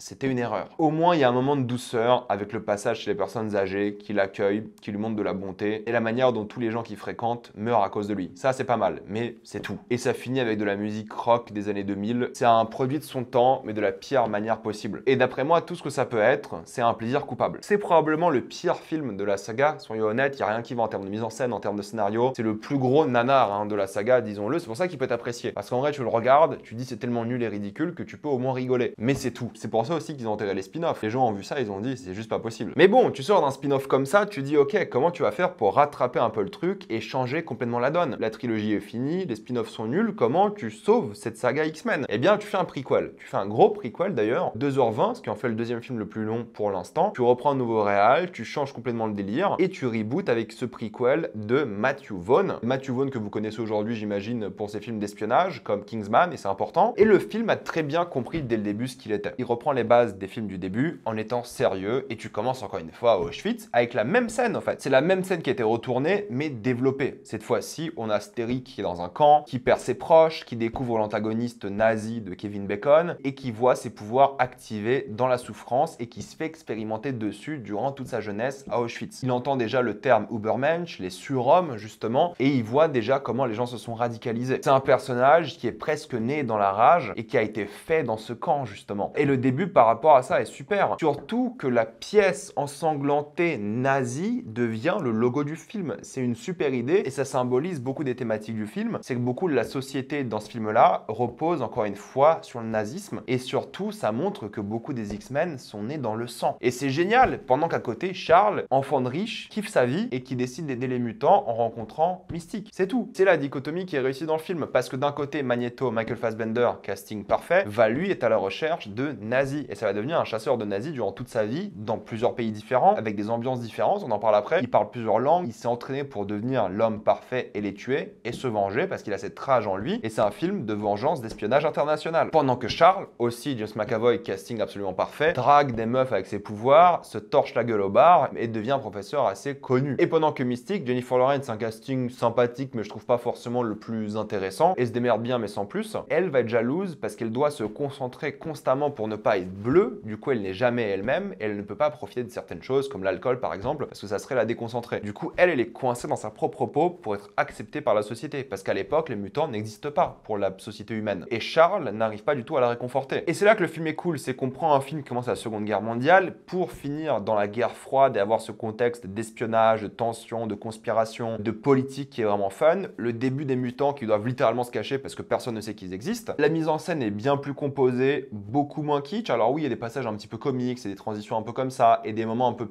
plus loufoque que d'autres, disons-le, avec certaines utilisations de super pouvoirs, mais ça va un peu dans le délire, service secret, les choses que tu dois cacher, et d'où le thème de l'espionnage. Et aussi un thème par rapport au macartisme et surtout aux communistes qui étaient cachés dans la société américaine, par exemple. Et Matthew Vaughn, il sait poser une ambiance et il prend une approche plus réaliste, même si parfois c'est vrai qu'il part un peu dans le loufoque des comics, comme je vous l'ai dit. Chaque pays a une colorimétrie différente. Tu vois, quand à Las Vegas, c'est pas du tout la même chose que lorsque t'es à Moscou, c'est différent et ça qui est bien. Il assume complètement le délire. Et en plus, il y a beaucoup de plans sur les désirs des gens, que ce soit les yeux par exemple certains objets, c'est vraiment bien foutu de ce point de vue-là. Il a composé d'une manière à montrer la relation entre les personnages et surtout qui domine la scène. C'est pas du génie non plus, mais c'est beaucoup plus maîtrisé et t'as quelques séquences qui sont vraiment bien foutues par rapport à ça, surtout avec les passages en action, on en parlera après. Encore une fois, il a pris ce que Singer faisait bien, c'est installer une ambiance, avoir des séquences vraiment différentes, aux couleurs différentes et créer une vraie diversité de scènes où les acteurs peuvent jouer et oui, peuvent être iconisés. Parce que oui, Charles qui boit des culs secs constamment et qui drague tout le monde, il va débuter ici sa vie de pour la première fois et il va trouver un but à sa vie. C'est pour ça que tu as des choses comme cérébraux qui sont mises en place, même si c'est facilement mis en place. Ok, t'es un scientifique qui fait tout super, mais l'objectif c'est de trouver justement son école, trouver des mutants pour certes aider à arrêter cette guerre froide, mais surtout pour que les mutants qui existent se rendent compte que des gens comme eux existent et qu'ils ne soient plus seuls. C'est ça le but de l'école de Charles. T'as cette séquence de montage très mémorable, très funk, très libératoire, où ces deux nouveaux amis vont vivre ensemble pendant quelques semaines, t'as l'impression. T'as une belle amitié qui se crée, qui met généralement en avant la jeunesse, qui est souvent sous-représentée.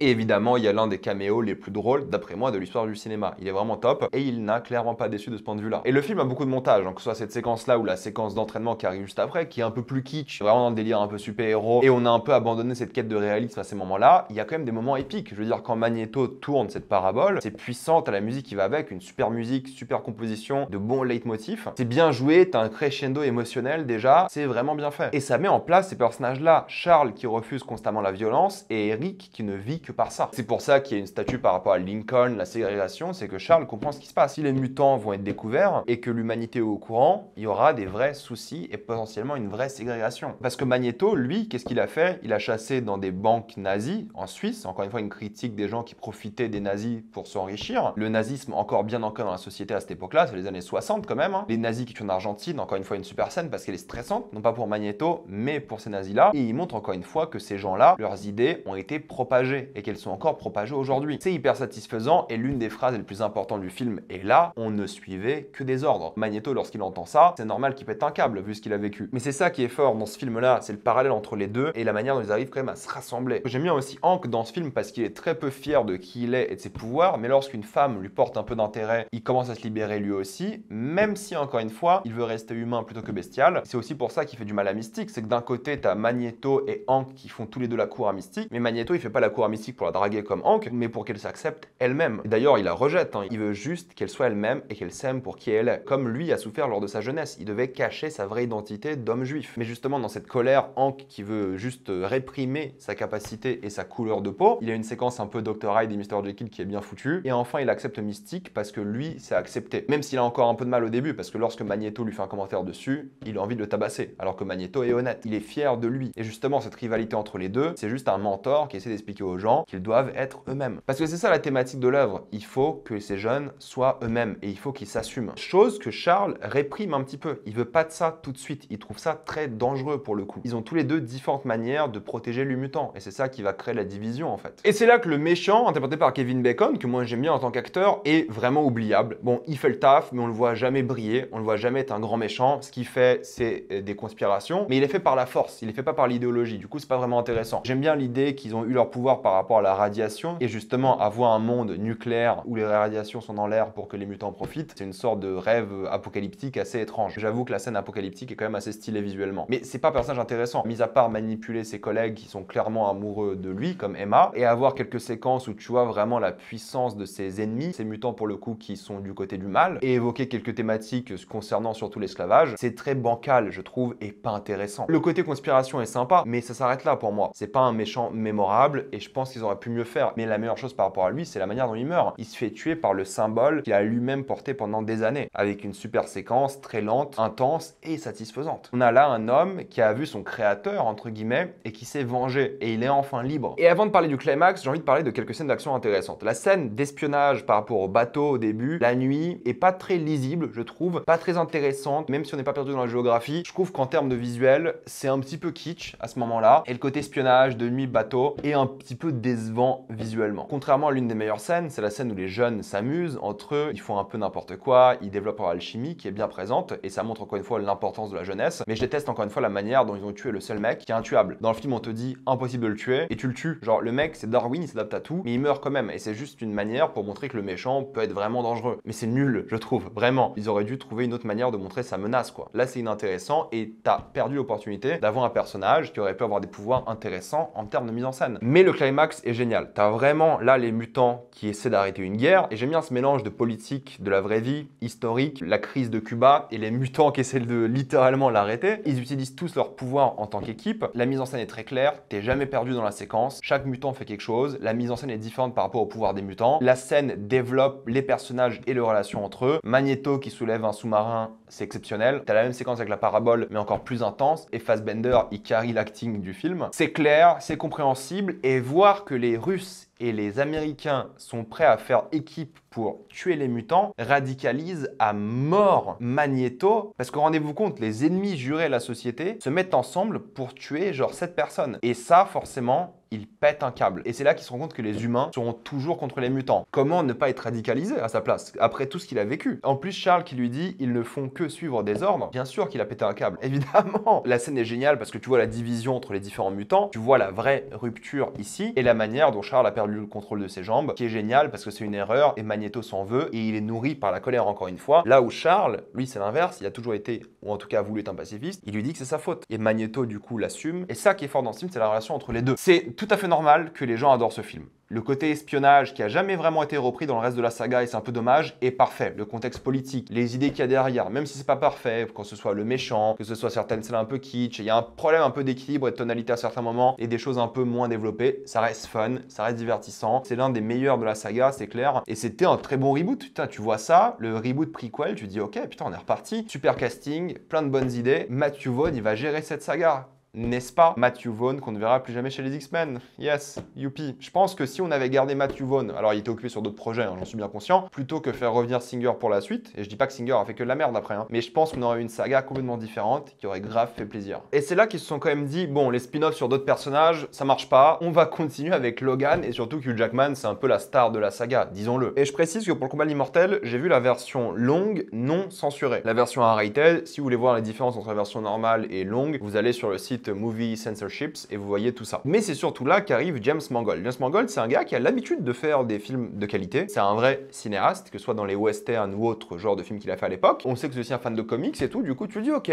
c'est intéressant, super idée, on va mettre Wolverine au Japon et c'est parti, on tente. L'intro est l'une des meilleures de la saga X-Men. Je veux dire, l'intro est glaçante. Lorsque tu comprends très vite que tu es à Nagasaki, tu vois les différents soldats japonais ou se suicider ou essayer de sauver les prisonniers. Tu vois littéralement la fin d'une ère, t'as l'impression et le début d'une autre en l'ère atomique. Ça installe le contexte, les personnages, les enjeux, et avec une forte violence, et voir une bombe atomique exploser comme ça au cinéma, c'est très rare, c'est bien fait, c'est prenant. Et lorsque j'avais vu le Wolverine carbonisé en salle à l'époque, ça m'avait bien fait bader quand même. Il a son côté un petit peu animal dans la scène, et on pourrait se poser des questions de comment est-ce que lui est au courant que la bombe atomique arrive, et genre pas les japonais. Certains vont dire que c'est réaliste qui est survécu, surtout que Wolverine était au courant des radiations, et qu'il lui dit de rester là pendant un moment. Mais c'est la thématique de l'œuvre en fait, c'est l'histoire d'un homme qui veut survivre quoi qu'il arrive. Et c'est pour ça qu'il va rechercher Wolverine, cet homme. C'est que c'est lui qui l'a sauvé la dernière fois, qu'il était en danger de vie ou de mort, quoi. Et c'est ça l'une des thématiques, c'est l'immortalité. Tout ça, en plus, lié au sacrifice japonais et à la thématique du Japon et l'honneur, où t'es prêt à donner ta vie. Et l'un de ces hommes qui refuse de donner sa vie, justement. En plus, il une vraie suite au film X-Men de l'époque. Il y a vraiment Jean Grey qui intervient beaucoup dans cette œuvre-là. Pourquoi? Parce que Logan est traumatisé par rapport à ce qu'il a fait. Il a du mal à redevenir un X-Men, justement parce qu'il a l'impression que tout ce qu'il fait, c'est sa faute. Bon, on s'explique pas vraiment pourquoi il a quitté les X-Men, mais c'est pas très grave. Tu le vois en mode SDF, côté très animal, hein, pour le coup, il vit avec des animaux, genre un ours qui le respecte. Lui qui devient de plus en plus misanthrope, qui veut venger cet ours, d'où cette séquence au bar qui est géniale, où il empoisonne l'une des personnes, le poison qui est l'une des thématiques importantes de ce film aussi. Tu vois qu'il veut rester à l'écart des humains, mais parfois, il y a sa colère qui revient en lui et cette volonté de venger son ami ours, entre guillemets, et la manière dont les humains attaquent et veulent changer la nature. Parce que c'est ça l'idée aussi. C'est un film sur les gens qui veulent changer le cours naturel des choses, que ce soit un ours ou le cycle de la vie. Mais il réfléchit quand même à l'offre qu'on lui propose parce qu'il est suicidaire en fait. Et c'est là que tu te rends compte au fait du truc que tu vas voir. Tu vas enfin voir Wolverine au Japon contre des samouraïs. C'est une idée de fou en soi. Comment ne pas être hyper hypé, surtout quand t'as Hugh Jackman au sommet de sa forme. Physiquement, le mec a jamais fait mieux. Franchement, tu vois ça quand t'es ado, tu fais ok,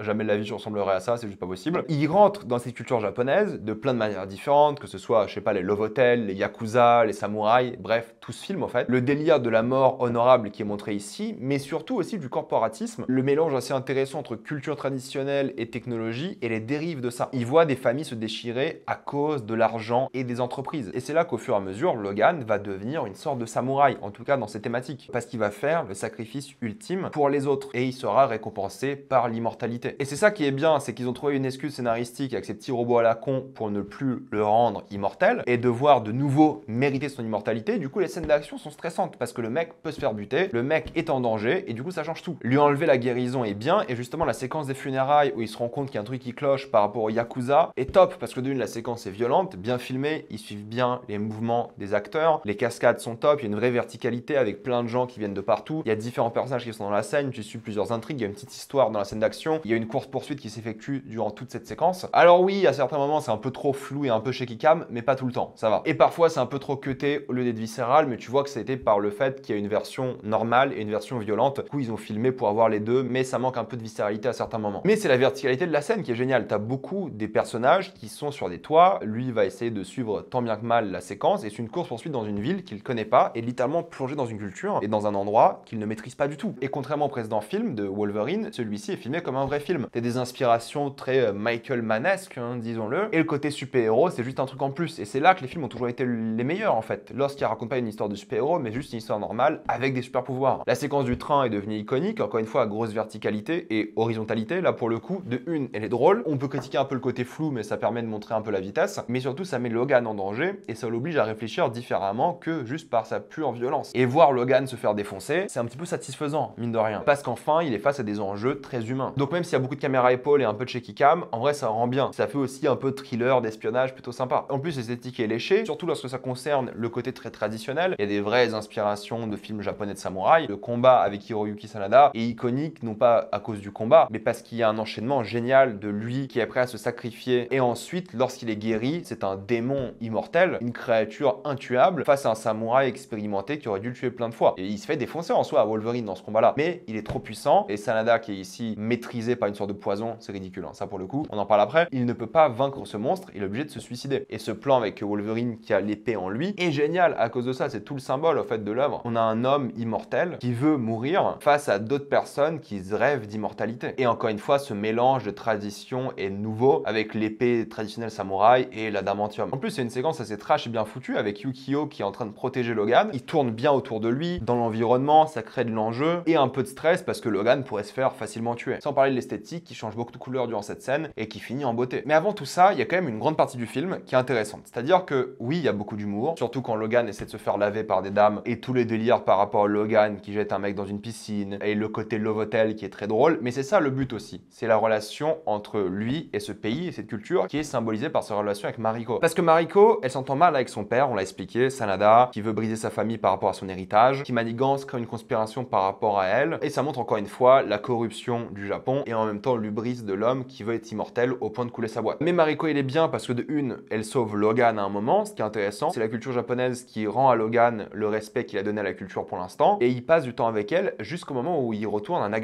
Et lui, qui était là, qui l'a vécu, il revoit Nagasaki complètement reconstruite, cette ville. Et c'est un symbole pour lui en se disant que même moi qui suis brisé, je peux me reconstruire. Il parle un peu de foi, de religion, mais je trouve que c'est pas assez développé, c'est un peu dommage, même s'il parle un peu de spiritualité et de folklore par rapport à l'animal et qui il est réellement. Le parallèle entre l'animal et lui est souvent dressé. Hein. En plus, il y a plein de petits moments où il apprend à manger, des choses comme ça. Bref, il essaie de s'imprégner de la culture. Et ça crée des vraies séquences émotions, surtout lui qui ne veut pas se régénérer, qui fatigue et qui peut se poser. Et en fait, il rêve d'une vie qu'il n'aura jamais. Mais ça lui donne espoir en fait, que cette vie est possible. Et la romance, au fait, c'est juste lui qui est prêt à se dire, ok, je me pose et je profite de cette vie. Et je mets le monstre de côté pour être une personne entre guillemets normale. Et je trouve les personnages plutôt réussis, comme Yukio qui voit l'avenir, qui est là en soutien, qui a pas vraiment beaucoup de développement, même si tu la comprends. C'est un sidekick assez sympathique, qu'on revoit jamais, ce qui est un peu dommage, qui a des séquences assez touchantes, elle a des moments mignons, c'est cool. Mais à partir de là, moi il y a deux choses que je déteste. La vipère en mode femme fatale, caricaturale, inintéressante, qui empoisonne, fait genre des sortes de visions, rêves bizarres, c'est nul. L'acting est douteux, les dialogues est là sont horribles, beaucoup de jeux de mots à la con, ça va pas du tout quoi. L'explication de la vipère et tout, c'est nul. C'est le côté comic books qui arrive dans un film très sérieux et c'est kitsch et ringard et juste mal écrit quoi. Mais si avec ça. Au fait, ce film est bien, rien de spectaculaire, mais il est bien par rapport à tout ce que j'ai raconté. Et là, t'arrives à la fin. T'arrives dans une ville très mignonne, enneigée, dans les montagnes, des shorts de shinobi ou ce que vous voulez, des ninjas, je n'en sais rien, qui mettent littéralement au sol Logan. Il y a une verticalité encore une fois qui est intéressante. Des scènes d'action cool, l'environnement qui évolue pas mal. C'est une belle séquence. Il se fait abattre comme un animal avec des flèches. Mais alors là, le dernier acte qui change complètement l'esthétique de l'œuvre, qui avait une belle photo, une belle composition, pour un climax tout métallique, dégueulasse, qui est littéralement un hôpital, hein, parce qu'ils font des opérations là-bas. Tout ça pour avoir un samouraï géant en adamantium, ça rend fou. Le combat est nul, mal foutu. Le côté verticalité où ils n'arrêtent pas de tomber durant la séquence est horrible. Alors oui, un peu de tension, parce que du coup, Wolverine est capable de perdre ses griffes, et il les perd d'ailleurs à un moment. Mais le twist sur le fait que c'est le vieux depuis le début dedans, en plus il est rajeuni, c'est trop long comme scène. Le climax est affreusement long, mal foutu, les chorés sont nuls, le montage est nul, c'est vraiment mal réalisé. Oui, c'est cool de voir Hugh Jackman avec une épée, trop bien, mais le symbole est déjà passé. C'est un climax qui, honnêtement, pour moi, gâche une très grosse partie du film. Pour que le film finisse sur ça, c'est tellement nul. De tomber dans tous les travers du genre du super-héros alors que t'avais un film plutôt sérieux et dramatique, sympa, avec une vraie réflexion, et tu finis sur ça, c'est désastreux. Oui, il passe à autre chose, le fait que Jean s'en aille, qu'il ne la voit plus, qu'il ne soit plus traumatisé par elle, top. Mais tout le reste est nul, et lorsque tu finis le film, tu dis c'est pas possible. C'est trop décevant, quoi. Donc la fin hyper décevante, mais elle est intéressante surtout par rapport au teasing qui est fait au film avec le grand retour de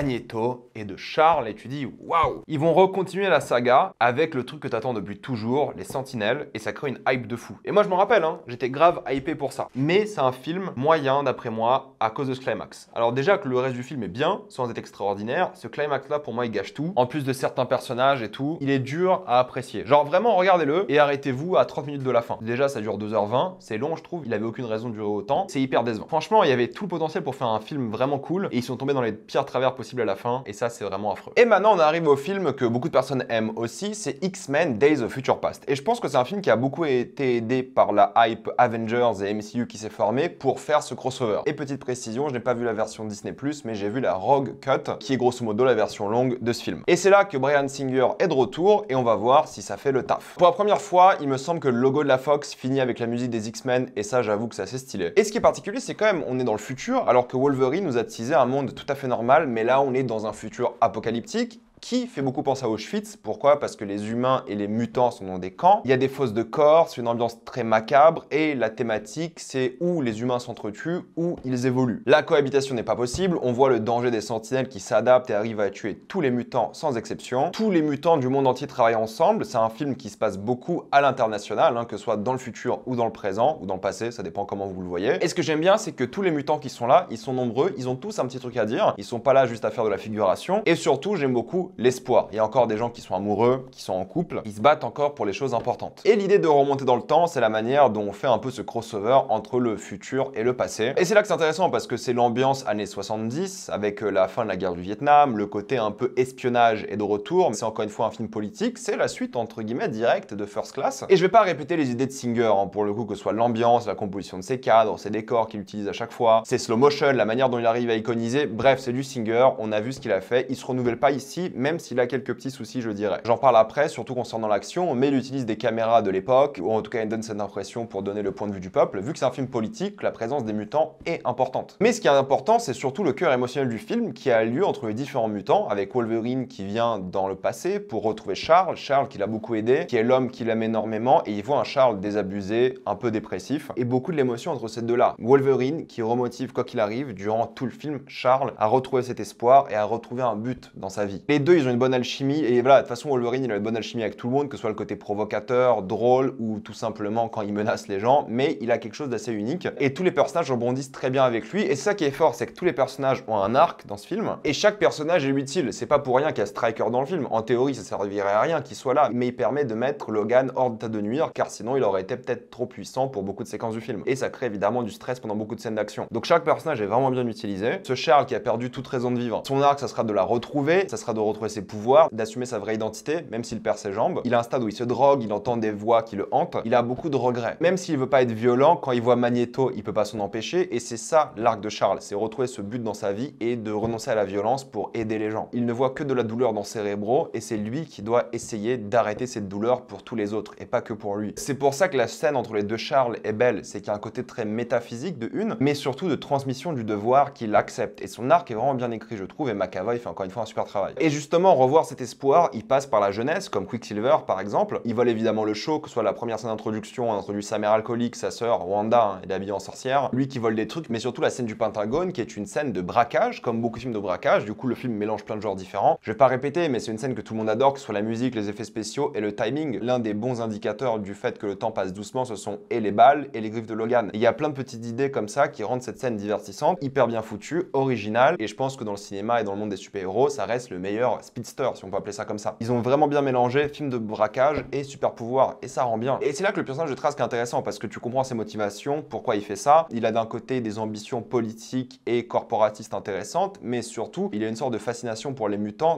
qu'il considère comme une vraie menace. Et vu que les États-Unis viennent de sortir d'une défaite au Vietnam, il refuse de sous-estimer de nouveau ses ennemis. C'est pour ça qu'il fait beaucoup de lobbying politique, et c'est pour ça que c'est intéressant que pour gagner dans ce film-là, il faut le sauver. Il faut sauver l'ennemi pour arriver à la victoire. Et c'est ça un peu le paradoxe. Il faut sauver la personne qui veut t'exterminer. Sans même parler du contexte politique qui est génial avec les mutants qui sont utilisés durant la guerre, mais qui sont méprisés et déshumanisés tout le long. Ce qui est intéressant, c'est que par rapport à ce personnage-là et toute son intrigue politique, c'est que c'est un film anti-guerre, anti-guerre froide aussi d'ailleurs, parce que ça reste la guerre froide. Et je suis un peu déçu qu'ils aient pas donné plus de scènes à Peter Dinklage, parce qu'avec un acteur comme ça, t'aurais pu faire des choses bien plus mémorables. C'est pas un méchant mémorable, mais ce qui symbolise est intéressant et le cœur du film. Mais évidemment, la personne qui vole toujours le show, c'est Magneto, et c'est là que Magneto, il commence à se faire un peu trimballer à droite à gauche dans le scénario, cette saga. Alors oui, apparemment, il a tué JFK, mais non, c'est l'inverse, il a sauvé Kennedy parce qu'apparemment c'était un mutant, ce qui est très drôle. Mais ce qui est intéressant, c'est parallèle par rapport à lui et Charles, parce que là, cette fois-ci, lui défend ses mutants, là où Charles a abandonné. Certes, les méthodes sont pas les mêmes et pas forcément les bonnes, mais là, Magneto n'a pas abandonné et a toujours défendu les mutants, alors que Charles a vraiment laissé tomber. Encore une fois, en termes d'acting, Fassbender, il est trop fort, surtout dans la scène de l'avion, il est épique, hein. il y a rien à dire, il est génial. Mais c'est ça qui est paradoxal, c'est qu'il est prêt à sauver tous les mutants, mais en même temps, il est aussi prêt à tuer les siens, dont Mystique, qu'il essaie de tuer, alors que de une, c'est mutante, et ensuite, c'est l'une de ses amis les plus proches. Oui, la scène est géniale, en termes de mise en scène, de musique, c'est super bien fait, il a rien à dire. hein. Et le parallèle qui est dressé entre le vieux Magneto et le jeune qui a passé sa vie à se battre avec Charles et qui regrette, on le voit refaire les mêmes erreurs. Mais je suis désolé, on est encore une fois dans une énorme redite, et c'est pas fini dans la saga. Parce que ça redevient le méchant de l'œuvre, et oui, prendre un énorme stade et le mettre autour de la Maison Blanche, c'est incroyablement stylé, et son speech est terrifiant par rapport à comment il menace les humains, mais il comprend pas que c'est la mauvaise chose à faire, parce qu'il a vécu dans cette rage et cette haine toute sa vie. Et du coup, là, on commence à tomber un peu dans la redite, je comprends, c'est un prequel, tout ça, tout ça, mais c'est encore pire par la suite dans la saga. Mystique est intéressante parce qu'elle aussi, elle pense faire la bonne chose en éliminant Trask, alors que c'est l'inverse. Pour gagner dans ce film-là et dans cette histoire par rapport à la politique, il faut montrer de la compassion, chose qu'elle fait à la fin. La romance avec Beast, je trouve qu'elle est pas la plus bienvenue dans le film, elle est pas très utile, surtout que elle a passé tout le film à ne pas se montrer elle-même. hein. C'est un peu expliqué parce qu'elle fait beaucoup d'espionnage, mais elle s'assume pas beaucoup dans le film, même si à la fin, en effet, elle devient une icône parce qu'elle s'assume. C'est comme Beast hein, qui passe la majorité du film en tant qu'humain pour justement montrer la tête de l'acteur, en fait, c'est juste ça. Mais en vrai, ce qui est vraiment bien dans le film, c'est l'ambiance, c'est les différents arcs des personnages qui sont généralement bien écrits, mais tout ce qui concerne les scènes d'action, je trouve que c'est assez décevant dans la majorité des cas, c'est pas toujours très bien filmé, pas toujours très lisible, et c'est beaucoup moins inspiré, ce qui est un petit peu dommage. Oui, le début avec Logan est bien foutu, divertissant, ça nous replonge bien dans l'ambiance, mais je trouve la fin et le climax assez décevant en termes de mise en scène. Les sentinelles contrôlées par Magneto, je trouve qu'elles sont pas assez menaçantes, et les effets spéciaux, plus vraiment la manière dont c'est filmé, c'est assez bancal, et la photo est vraiment très banale aussi. Singer nous habitue à des scènes plus jolies, surtout en fin de film. Et tout ce qui concerne les scènes d'action dans le futur,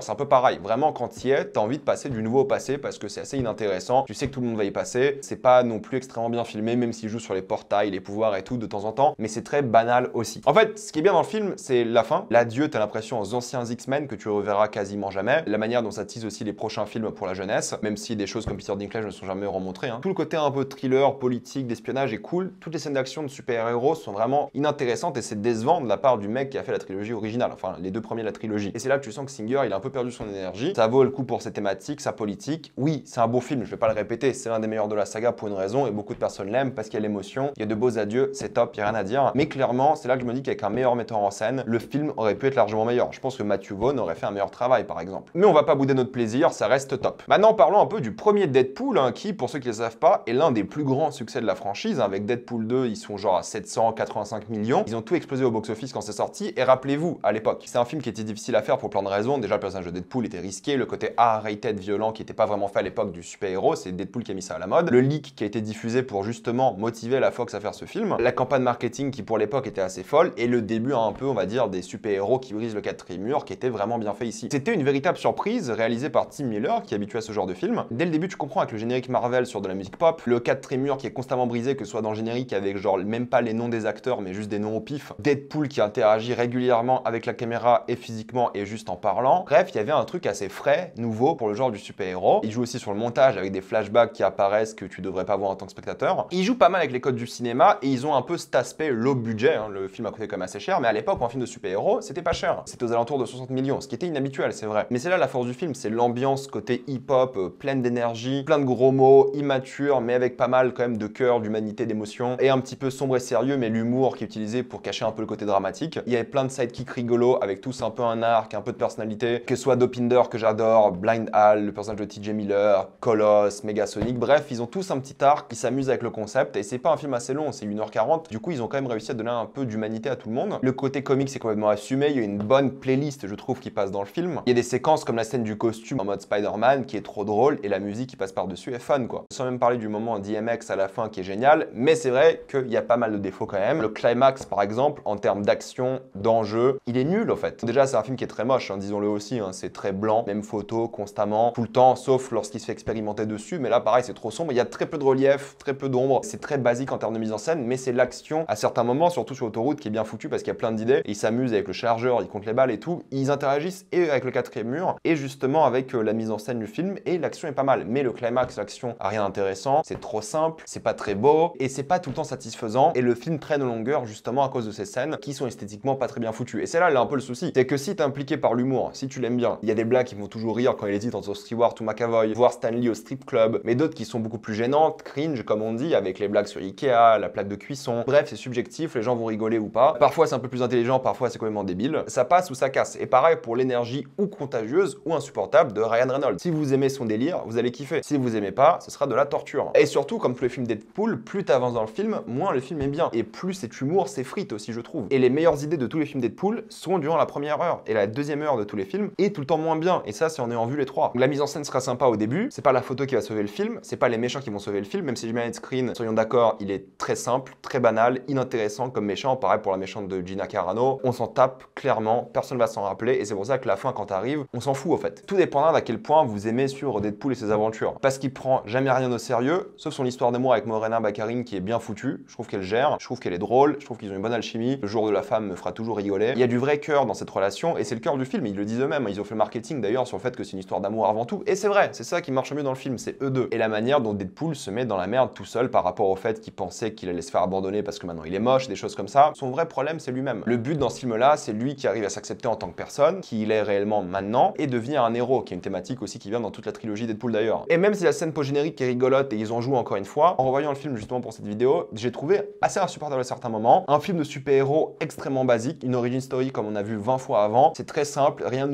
Oui, le quatrième mur sauve un peu le truc et l'énergie, encore une fois contagieuse ou insupportable en fonction des gens, sauve un peu le truc, mais c'est tout en fait. Et honnêtement, c'est pas le genre de film que tu as envie de revoir dans ta vie parce que c'est tellement simple et basique. Et il y a beaucoup de longueur, mine de rien, justement lorsque le film essaie d'être trop sérieux et il joue le côté origin story qu'on a déjà vu un milliard de fois. Donc en vrai, c'est sympa et c'était bien pour un premier film Deadpool, mais fatalement, je pense que c'est pas le film le plus mémorable non plus. Et quelques mois après est sorti quand même le film que moi j'attendais beaucoup, c'est X-Men Apocalypse. Et là, c'est rigolo parce que j'attendais pour plein de raisons différentes. Premièrement, parce que j'adore Apocalypse depuis que je suis tout jeune, il m'a toujours fait kiffer comme personnage. Et vu comment pour l'instant les X-Men jeunes, ça s'est toujours très bien passé au cinéma, on avait forcément que de très bonnes attentes concernant le film. Brian Singer est de retour et c'est de loin son film qu'il a le moins bien réalisé de sa carrière, sûrement. Il a vraiment aucune idée durant ce film, c'est assez catastrophique. Même Simon Kinberg est là, bon voilà, il fait le taf de scénariste, mais c'est important pour la suite. Et mis à part le générique au début, on passe de l'Égypte au temps moderne via un générique plutôt sympathique. Ce film, en fait, en le revoyant, c'est un désastre. Et le vrai désastre, c'est quoi? C'est Apocalypse. En fait, tu comprends depuis le début que c'est un dieu qui a énormément apporté au monde égyptien de l'époque, mais qu'il est quand même considéré comme un faux dieu par beaucoup de personnes. Il y a des gens qui se rebellent, il y a des gens qui veulent le voir mourir. D'où le fait qu'il a été enfermé pendant des millénaires. Mais dès cette scène d'intro, tu comprends qu'en fait que l'approche un peu réaliste des X-Men, entre guillemets, a complètement été abandonnée pour un délire complètement comics, mélange de technologie, de magie et tout, qui est visuellement pas du tout intéressant, je trouve, et un truc qui se fait mille fois avant, qui n'apporte rien de nouveau. Et les X-Men, ce qui a toujours été bien, c'est cet ancrage dans la réalité, entre guillemets. Et là, dès le début, tu dis, ok,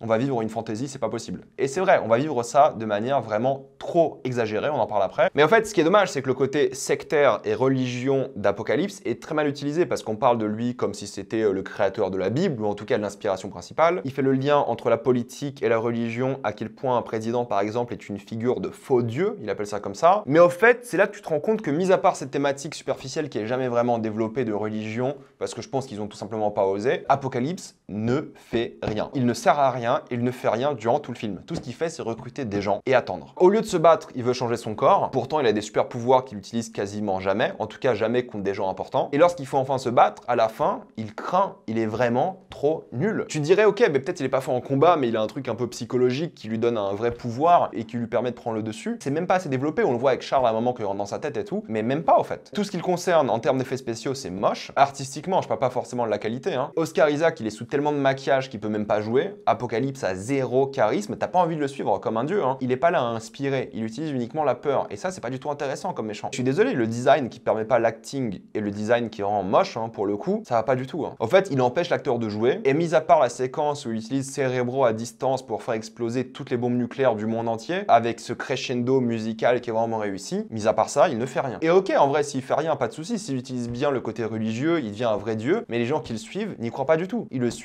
parce qu'ils ont pas de famille, parce qu'ils sont seuls, et le côté divin est pas du tout utilisé. Et la fin, lorsqu'il détruit le monde entier, dont le Caire, c'est tellement exagéré, c'est tellement grandiose et grand que tu perds les enjeux. Genre là, littéralement, il y a des millions de personnes qui sont décédées comme ça, et tu l'as jamais vu, tu l'as pas vécu. C'est juste un disaster movie, sans impact, sans enjeu, et il ne donne rien à faire à aucun de ces mutants. Je comprends que c'est la fin du monde, le nouvel ordre qu'ils veulent bâtir, tout ça, mais crée un peu d'enjeu, quoi, je sais pas. Crée un investissement émotionnel, crée quelque chose. Il y a même pas d'investissement émotionnel, il y a rien en fait quand tu regardes ça. En plus, encore une fois, c'est hideux. Je suis désolé, Magneto qui passe toute la max du, du film dans une boule de métal et il fait rien, c'est moche. On va parler de lui dans quelques secondes, mais les mutants qu'il recrute, mis à part Storm, qui a une sorte de mini arc narratif où au fait elle rejoint Apocalypse parce qu'elle est seule et tout, et ensuite elle le trahit car en fait elle est inspirée par Mystique qu'elle voit affronter Apocalypse, les autres n'ont rien. Angel n'a rien, ou rien d'intéressant en tout cas, pareil pour Psylocke. Et c'est pas parce que tu mets la chanson de Metallica, les 4 chevaliers de l'Apocalypse, que ça rend tes personnages bien en fait. Et la scène avec eux tous autour du Caire, elle est horrible quoi, entre les fonds verts et tout, la composition, ça va pas du tout. Je sais pas s'il a foutu Stinger ici, il sait plus raconter une histoire. Déjà que le scénario n'aide pas, mais là ça va pas du tout. Hein. T'as vraiment l'impression que ce film a été rushé plus que tout. Hein. Et encore une fois, c'est Magneto qui carie, hein, on va pas se mentir. Hein. Entre lui qui a changé de vie, qui est de retour en Pologne, qui a trouvé une vie de famille normale, qui est devenu une sorte de prolétaire qui bosse à l'usine, qui est heureux mais qui se cache, mais qui sauve quelqu'un, du coup il se fait révéler, et il y a un accident par rapport à sa famille, du coup t'as sa fille qui a des pouvoirs d'ailleurs, et sa femme qui meurt, ça le rend de nouveau foudrage, il a de nouveau tout perdu. Bon, on est dans la répétition constante avec Magneto, disons les choses,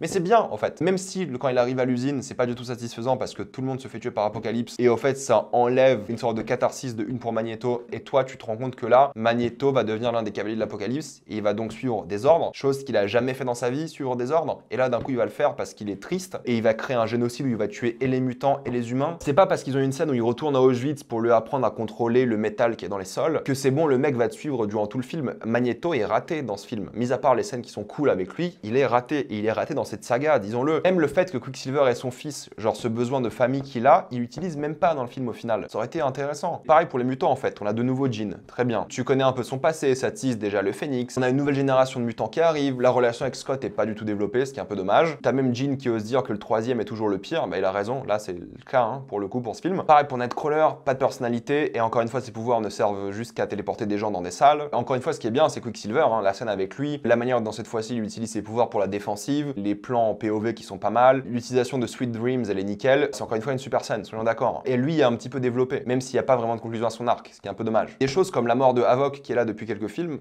elle est nulle. Les nouveaux, les jeunes, ils ont un manque de charisme vraiment fou, je trouve. Le travail d'équipe qui fait gagner très bien, mais c'est visuellement moche et il y a aucun enjeu émotionnel et t'en as vraiment rien à battre de tous les nouveaux X-Men. Et mis à part le caméo de Wolverine qui est sympathique et surtout par rapport à Jean qui arrive à le calmer, c'est inutile, c'est vrai, surtout qu'on le revoit plus jamais mais c'est quand même stylé, donc ça va. Il y a plein de choses qui sont énervantes, comme Hank qui passe encore une fois tout son film à ne pas être la bête. Mystique, elle, pareil, qui passe tout son film, mais bon, c'est encore expliqué par le fait qu'elle va dans plein d'endroits différents, faut qu'elle soit incognito, mais elle le passe sans jamais être bleu. Et Jennifer Lawrence dans ce film, elle s'en branle total, comme beaucoup des acteurs d'ailleurs, ils s'en branlent, hein. sauf les classiques comme McAvoy et Fassbender, mais là, elle, elle s'en branle. Son intrigue à elle, on se fait chier, elle fait que chercher des mutants tout le long, c'est insupportable, c'est super long, on s'ennuie quoi. Ça n'a rien à faire dans ce film, et c'est elle la leader des X-Men dans ce film, et c'est horrible. Non mais sans déconner, hein. Ça va pas du tout, hein. surtout que de l'autre côté, Charles est censé gérer l'école. Il y a le côté puberté, jeunesse, tout ça qui est pas mal, qui est classique, et j'aime bien lorsque Charles gère l'école, et j'aime bien voir les X-Men grandir. Mais son intrigue avec Moira, et la manière dont il utilise Cérébro pour la stalker, l'enquête qu'ils ont sur l'Egypte, insupportable. Et la manière dont il perd les cheveux me fera toujours rire. Genre en théorie, ils auraient dû repousser, mais bon, peu importe. Au fait, ils avaient tellement de personnages dans ce film, ils savaient pas quoi leur donner à faire. Les thématiques des X-Men, là, elles sont même pas présentes. On parle un peu de discrimination, mais c'est un film qui est creux. Il y a rien, c'est vide. En fait, tu regardes surtout les X-Men aussi pour la critique sociale. Là, ils auraient pu faire une critique de leur religion ou un truc comme ça, mais c'est même pas le cas. C'est 2h25 d'ennui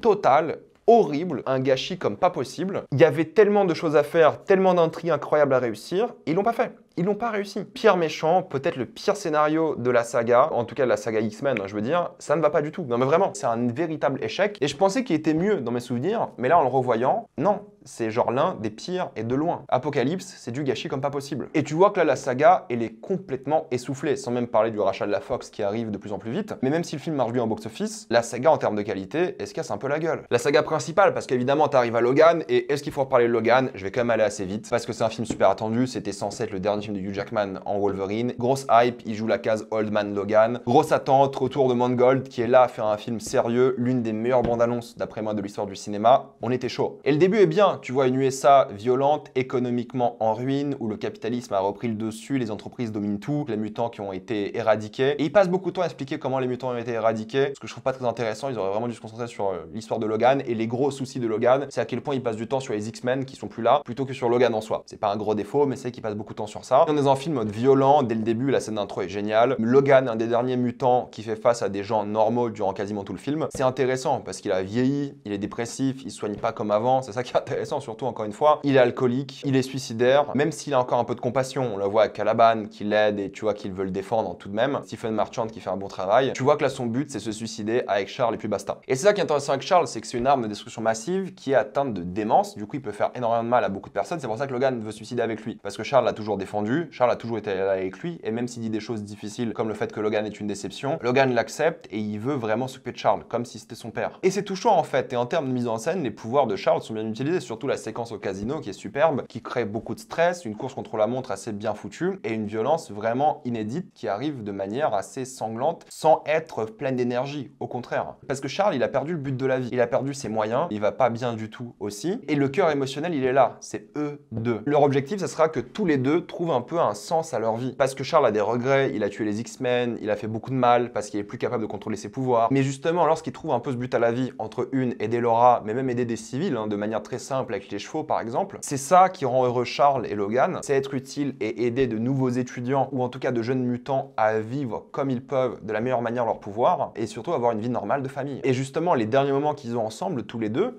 avant sa mort sont touchants parce qu'ils ont goûté à cette vie ensemble, à une vie normale qu'ils ont tant cherché toute leur vie. Ils utilisent beaucoup des anciens films X-Men pour bien développer les arcs ici et les conclure. C'est pour ça que la mort de Charles est touchante, la musique qui passe par-dessus est superbe. Marco Beltrami a fait un super travail avec toutes les musiques de ce film et c'est pour moi les meilleures musiques de toute la saga. Tout est touchant, je veux dire, même le suicide de Calaban est plutôt bien réussi. C'est pour ça que Logan, là, il a plus de raison de vivre. Et c'est là que l'ambiance elle est bien de ce film, c'est qu'avant on était dans un film de samouraï, mais là on est dans la version américaine du film de samouraï, on est dans un film de western. C'est un western crépusculaire, mélancolique. C'est pas pour rien que le film qui regarde à la télé, c'est Shane. Shane, dans le film, c'est la même histoire que le film Logan. C'est un mec qui n'est plus violent, qui est obligé de nouveau d'être violent, et à la fin il meurt. Spoiler pour Shane, désolé. C'est un film qui est à la fois sombre, beau, paradoxalement dans un monde qui est très ensoleillé, dans le désert, et c'est ça qui est bien. Il y a un vrai travail d'ambiance, de composition des cadres, les faisceaux de lumière sont vraiment bien gérés, la violence est toujours méritée et intelligente. Il y a plein de plans sur le sang, les griffes, et l'ambiance sonore est vraiment réussie. Il y a un mélange entre Children of Men et genre impitoyable, en fait, et ça qui est vraiment bien. Et c'est pour ça que Laura et X23, comme vous voulez, le cœur de ce film, c'est que de une, l'actrice Daphne Keane fait un super travail, elle vole le show, clairement. Elle a énormément de charisme, elle a un regard perçant et joue super bien. Pour le coup, un choix de casting au top. Et depuis, elle a une carrière, du coup, je suis très content. Et elle comprend qu'elle doit se défendre. Et ce qui est intéressant, c'est que Logan se voit en elle. D'où le côté père-fille qui sera installé durant tout le film. Il sent ce besoin de devoir l'aider et la sauver. Alors oui, il y a peut-être une facilité scénaristique sur la manière dont il y a cette vidéo par rapport aux enfants qui sont torturés et les expériences qui sont faites dessus, d'accord. Mais le fait de voir Laura être une enfant, de vouloir faire des choses d'enfant, le fait où elle voit la première fois les lumières de Las Vegas et les lumières d'une ville. C'est touchant et au fait, la manière dont elle s'inspire des comics X-Men pour vivre une meilleure vie, c'est tout un message sur comment ces œuvres-là impactent la vie des gens. Et là où Logan n'y croit plus en ses œuvres, c'est prouvé à la fin que ces œuvres ont inspiré la survie des enfants. La manière dont les œuvres aident et inspirent les gens. Et du coup, elle représente l'espoir de la jeunesse. Et comme les chevaux qu'elle voit durant l'une des scènes, elle se sent aussi libérée. Et c'est grâce à Logan qui devient un peu ce professeur pour elle, ou aussi cette figure paternelle, comme vous voulez. Et puis l'action est super bien foutue, hein, disons-le. Hein. Toutes les scènes, c'est peut-être les meilleures séquences d'action de toute la saga aussi. Entre la première avec l'esthétique vraiment désertique, les enjeux qui sont vraiment présents, la manière dont ça bouge dans la scène, la musique crescendo lorsque Logan devient fou, la course poursuite en voiture qui est vraiment bien foutue, dynamique, la manière dont la caméra suit les coups, la violence, le sang, la viscéralité du truc, la deuxième scène d'action avec le clone de Logan qui est de nuit, on dirait que en noir et blanc, il y a juste quelques lumières. J'en profite pour vous dire que la version noir et blanc du film qui existe et que j'ai en Blu-ray d'ailleurs vaut vraiment le coup, elle est top. C'est une séquence qui est magnifique, c'est une confrontation entre deux cowboys, t'as l'impression, elle est violente, elle est dramatique, elle est triste. Là, le travail de photo qui est fait dessus, est superbe. Tu ressens chaque coup, la violence est en rendez-vous, il y a rien à dire, c'est top. Il y a différents plans sur les griffes et c'est hyper satisfaisant tout en étant super triste ce que tu es en train de voir. Et puis voir le père qui les a tant accueillis dans leur maison vouloir tuer Logan aussi est logique assumé et beau en fait. Tu le comprends totalement. Et même les méchants, même s'ils ont pas beaucoup de développement et ils sont juste là pour faire le lien entre les différents films X-Men, je trouve que Hoyt Brooks se démerde bien, il a du charisme et sa mort est satisfaisante. Richard E. Grant, en vrai, on s'en tape clairement de son personnage, mais c'est un bon acteur avec du charisme et c'est satisfaisant lorsqu'il se prend une balle dans la tête. Et le clone, c'est facile honnêtement comme histoire, mais c'est efficace en vrai parce que même si le vrai ennemi de Logan, c'est lui-même, on connaît le truc et tout, c'est facile. En vrai, voir des Wolverine qui se tapent, c'est ce que tu voulais voir, c'est bien fait, c'est bien utilisé, c'est satisfaisant et c'est pour ça que la fin est bien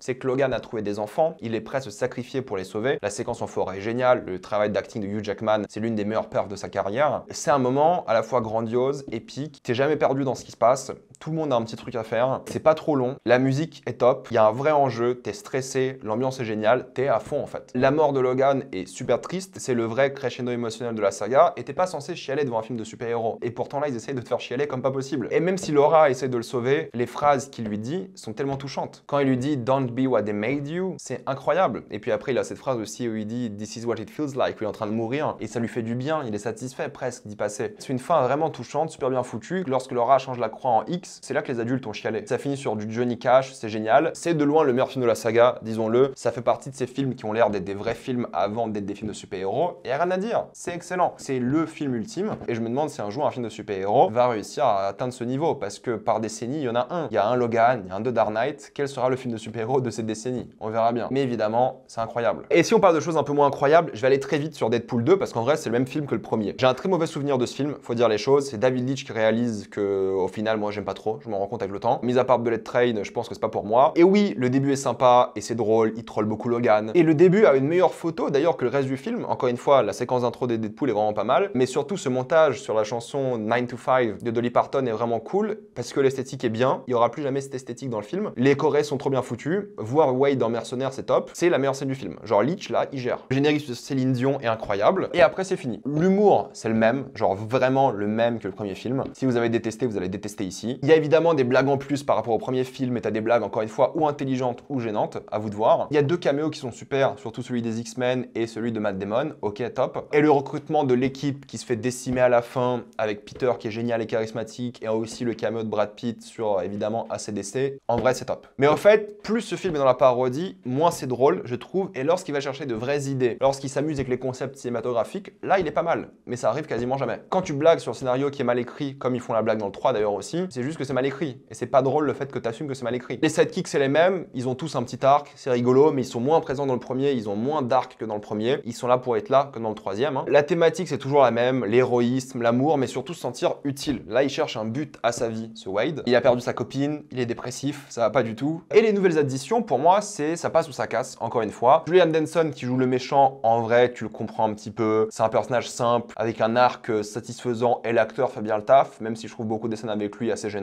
mais c'est pas vraiment sa faute, hein, c'est la faute du scénario. Josh Brolin, pour moi, c'est un méchant raté, pour le coup, pas du tout de charisme, insupportable, il match pas du tout avec l'univers, pour le coup, et justement, c'est ce qu'ils ont essayé de faire, un gars trop sérieux qui match pas du tout. Il est mieux quand il est anti-héros et il aide les deux, ils ont une meilleure alchimie, c'est un peu plus drôle, et Josh Brolin, il s'éclate un peu plus, mais sinon, ça marche pas du tout. Et Zazie Beetz, c'est encore une fois, bah assez rigolo. Il a des séquences assez drôles et ça permet d'avoir une mise en scène assez rigolote par rapport à son pouvoir. Mais c'est pas des personnages que je trouve mémorables. Et le film va pas du tout, je trouve, entre les scènes d'action, surtout en prison, où c'est émoche, et pas fun, et mal filmé, et les chorégraphies sont Il y a pas d'enjeu, c'est long, mais vraiment. Le dubstep, ils font deux fois la blague dessus, ça marche pas. Les combats sont généralement médiocres et moches, sauf à l'intérieur. Quand on est dans le camion, là en vrai ça va, tu vois. Mais la course-poursuite en voiture n'est pas du tout réussie. En fait, tout va trop vite et à la fois, deux heures pour Deadpool, c'est trop long. Entre le truc, ils sont faits full en studio, la photo immonde, les méchants nuls, les CGI discutables, la musique nulle comparée au premier film, le climax vraiment décevant, bancal et à la fin, t'as l'impression juste de voir de l'animation plus qu'autre chose. Le slow motion final qui est trop long et la mort de Wade qui traîne en longueur alors que c'est pas drôle, insupportable. Au moins, le sacrifice de Cable est un peu touchant, plus ou moins, et la scène post-générique est drôle, ok,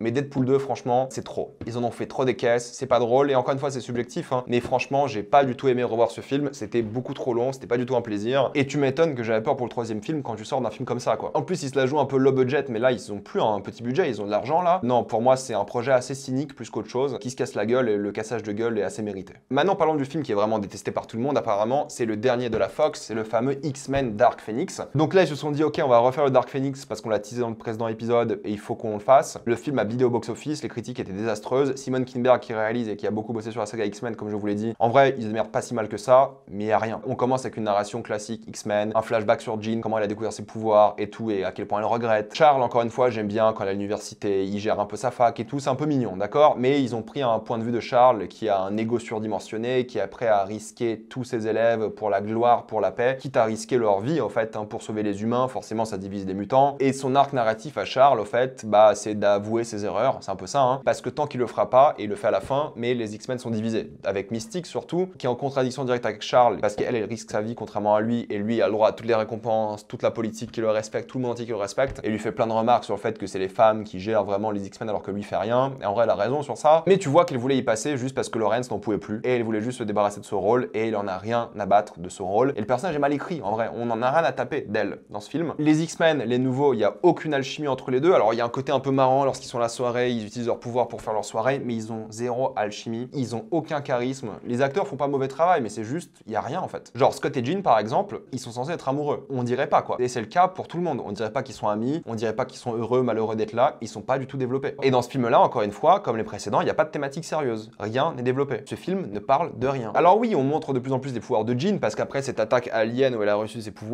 elle se sent trahie par Charles, elle se sent seule, elle a besoin de soutien. Et c'est ça le vrai souci, je trouve, de ce personnage-là, c'est qu'elle est pas développée en fait. Vu qu'ils ont trouvé cette excuse du fait que le Phénix vient de l'espace, c'est pas un personnage là. T'es juste face au Phénix et l'intrigue est déjà tout écrite. À un moment, elle va juste devoir faire face émotionnellement au Phénix et accepter de nouveau qui elle est, et puis basta. C'est pour ça qu'elle cherche de l'aide chez Magneto, qui vit dans une ZAD. Il a une entrée d'ailleurs sans charisme. Putain, Magneto qui est pas là pendant une heure de film et d'un coup il arrive comme ça de manière trop nulle. Ils auraient d'après moi dû passer plus de temps ici, développer un peu plus la zone, mais ça va trop vite, il y a déjà une scène d'action qui arrive. Et le fait qu'il abandonne Jean juste parce qu'elle a tué Mystique, ou parce qu'elle sait pas contrôler ses pouvoirs, et parce qu'il veut vivre en paix sans être dérangé par les humains avec ses autres mutants, c'est pas Magneto, je suis désolé. Ils le font tellement balader dans cette saga, c'est juste pas possible. Fassbender, pour la première fois que je le vois, il en fait des caisses, je trouve. Et chaque film, Magneto nous rappelle que c'est le méchant, alors qu'il a été sauvé précédemment, pour refaire la même en boucle. Genre, chaque film, il devient le méchant. Chaque fin de film de tous les X-Men, c'est Charles et Magneto qui se disent, dans une scène assez jolie dans celui-ci, ouais, je serai plus jamais comme ça, j'ai changé, et Charles qui l'accepte, et en boucle, c'est ça. Bon, là, c'est un peu différent parce que c'est pas le méchant principal, parce que le méchant principal, c'est qui? C'est Jessica que j'avais complètement oublié jouer dans ce film, et joue une sorte d'alien. Il y a plein d'aliens,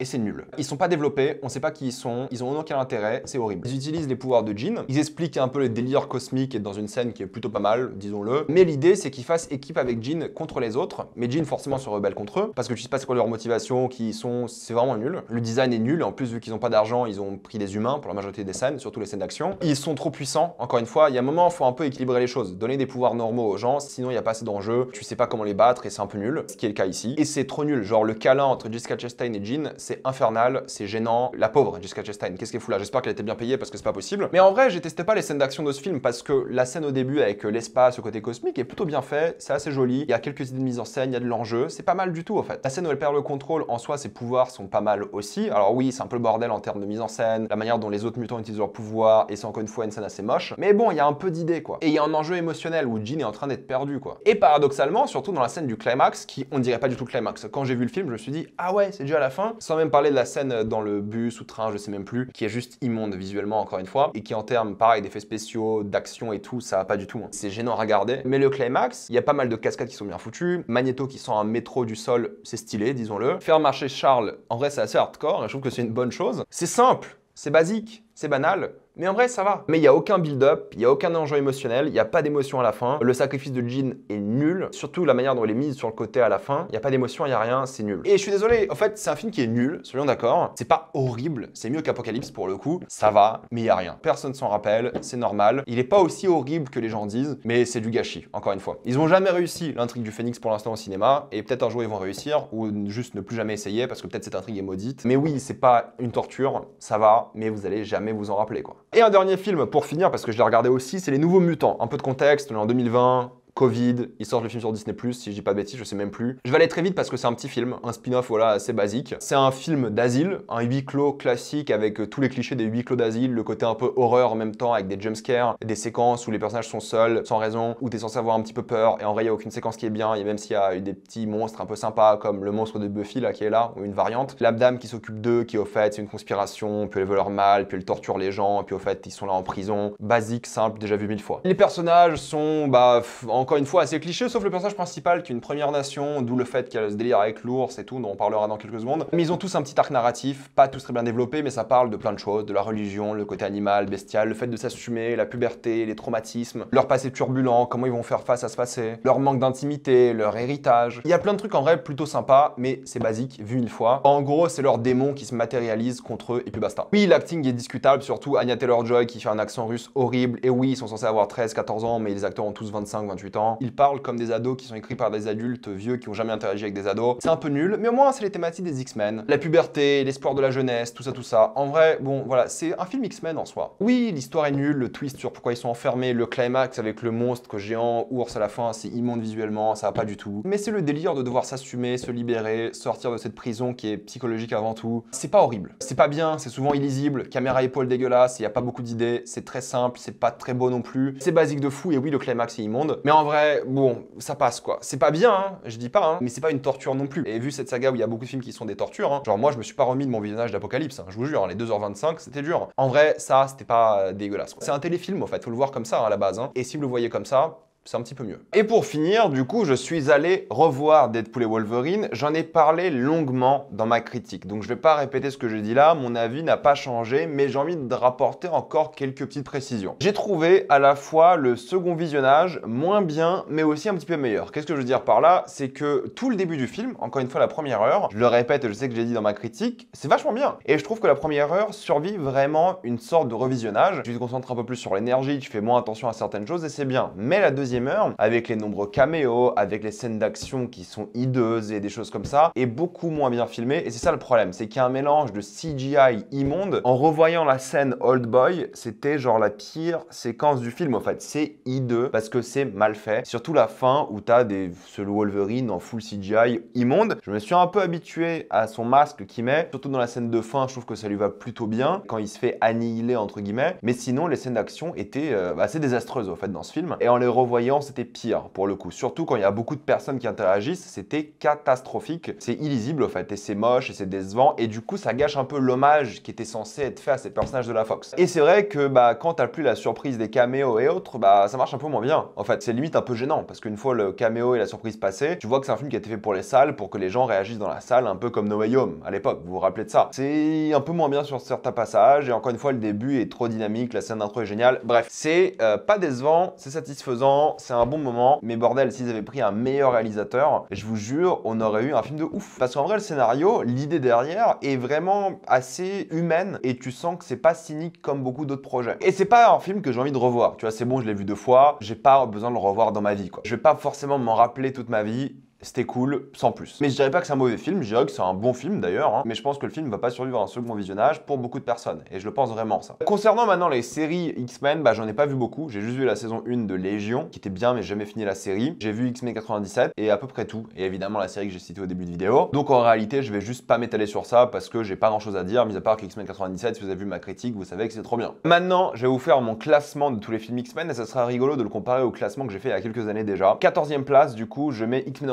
Pour moi, c'est un très mauvais film qui est plus un nanar qu'autre chose et il a fait tout ce qu'il ne faut pas faire dans un film X-Men ou dans un film tout court en fait. Je sais que beaucoup de gens vont le défendre et tout, mais c'est vraiment l'échec cuisant et le symbole de tout ce qu'il faut pas rater qui a été raté. Je vais pas refaire le speech ici, mais voilà, vous avez compris et je défends cette place en me disant que c'est le pire. Mais bon, voilà, il y a des places qui sont interchangeables parce que le prochain film c'est le nouveau mutant. Est-ce qu'il est bien? Non, ça aurait pu être dernier. Franchement, vous prenez pas la tête en vous disant Oh, il a mis le nouveau mutant qui est meilleur que X-Men Origins. En vrai, à ce stade, ils sont tous pourris, donc on s'en branle. Ensuite, en 12ème, je mets X-Men Apocalypse, qui mérite vraiment sa place en tant que déception. Le rewatch a été dur. Ensuite, je mets X-Men, l'affrontement final, qui était genre l'une des pires conclusions d'une trilogie ever, genre de l'histoire du cinéma. Dixième place, Deadpool 2. Y a rien à dire sur ce film tellement c'était rincé. Neuvième place, je mets Dark Phoenix, pour le coup. Huitième place, je mets Deadpool, et c'est interchangeable, on va dire, avec la septième place, qui est donc de Wolverine. Sixième place, j'ai quand même mis Deadpool et Wolverine. Voilà, je trouve que c'est aussi plus ou moins interchangeable avec euh, X-Men, qui est donc à la cinquième. Mais bon, je pense qu'X-Men est quand même un peu meilleur, plus intéressant en tout cas, et mieux mis en scène surtout, même s'il y a quand même quelques moments assez euh, discutables. Quatrième place, j'ai décidé de mettre X-Men Days of Future Past. Je l'ai un petit peu revu à la baisse pour le coup, surtout contrairement aux autres films. Troisième place, bah du coup je mets euh, X-Men le commencement, voilà, qui est un petit peu mieux, mais voilà, c'est des places un peu interchangeables ces deux-là. Deuxième place, je mets X-Men 2 qui avec un rewatch et genre euh, vraiment bien, un vrai plaisir de le revoir. Et premier, bah c'est facile, je mets Logan. Maintenant pour parler de la suite des X-Men, vous le savez, hein, ils ont rejoint le MCU et bah écoutez,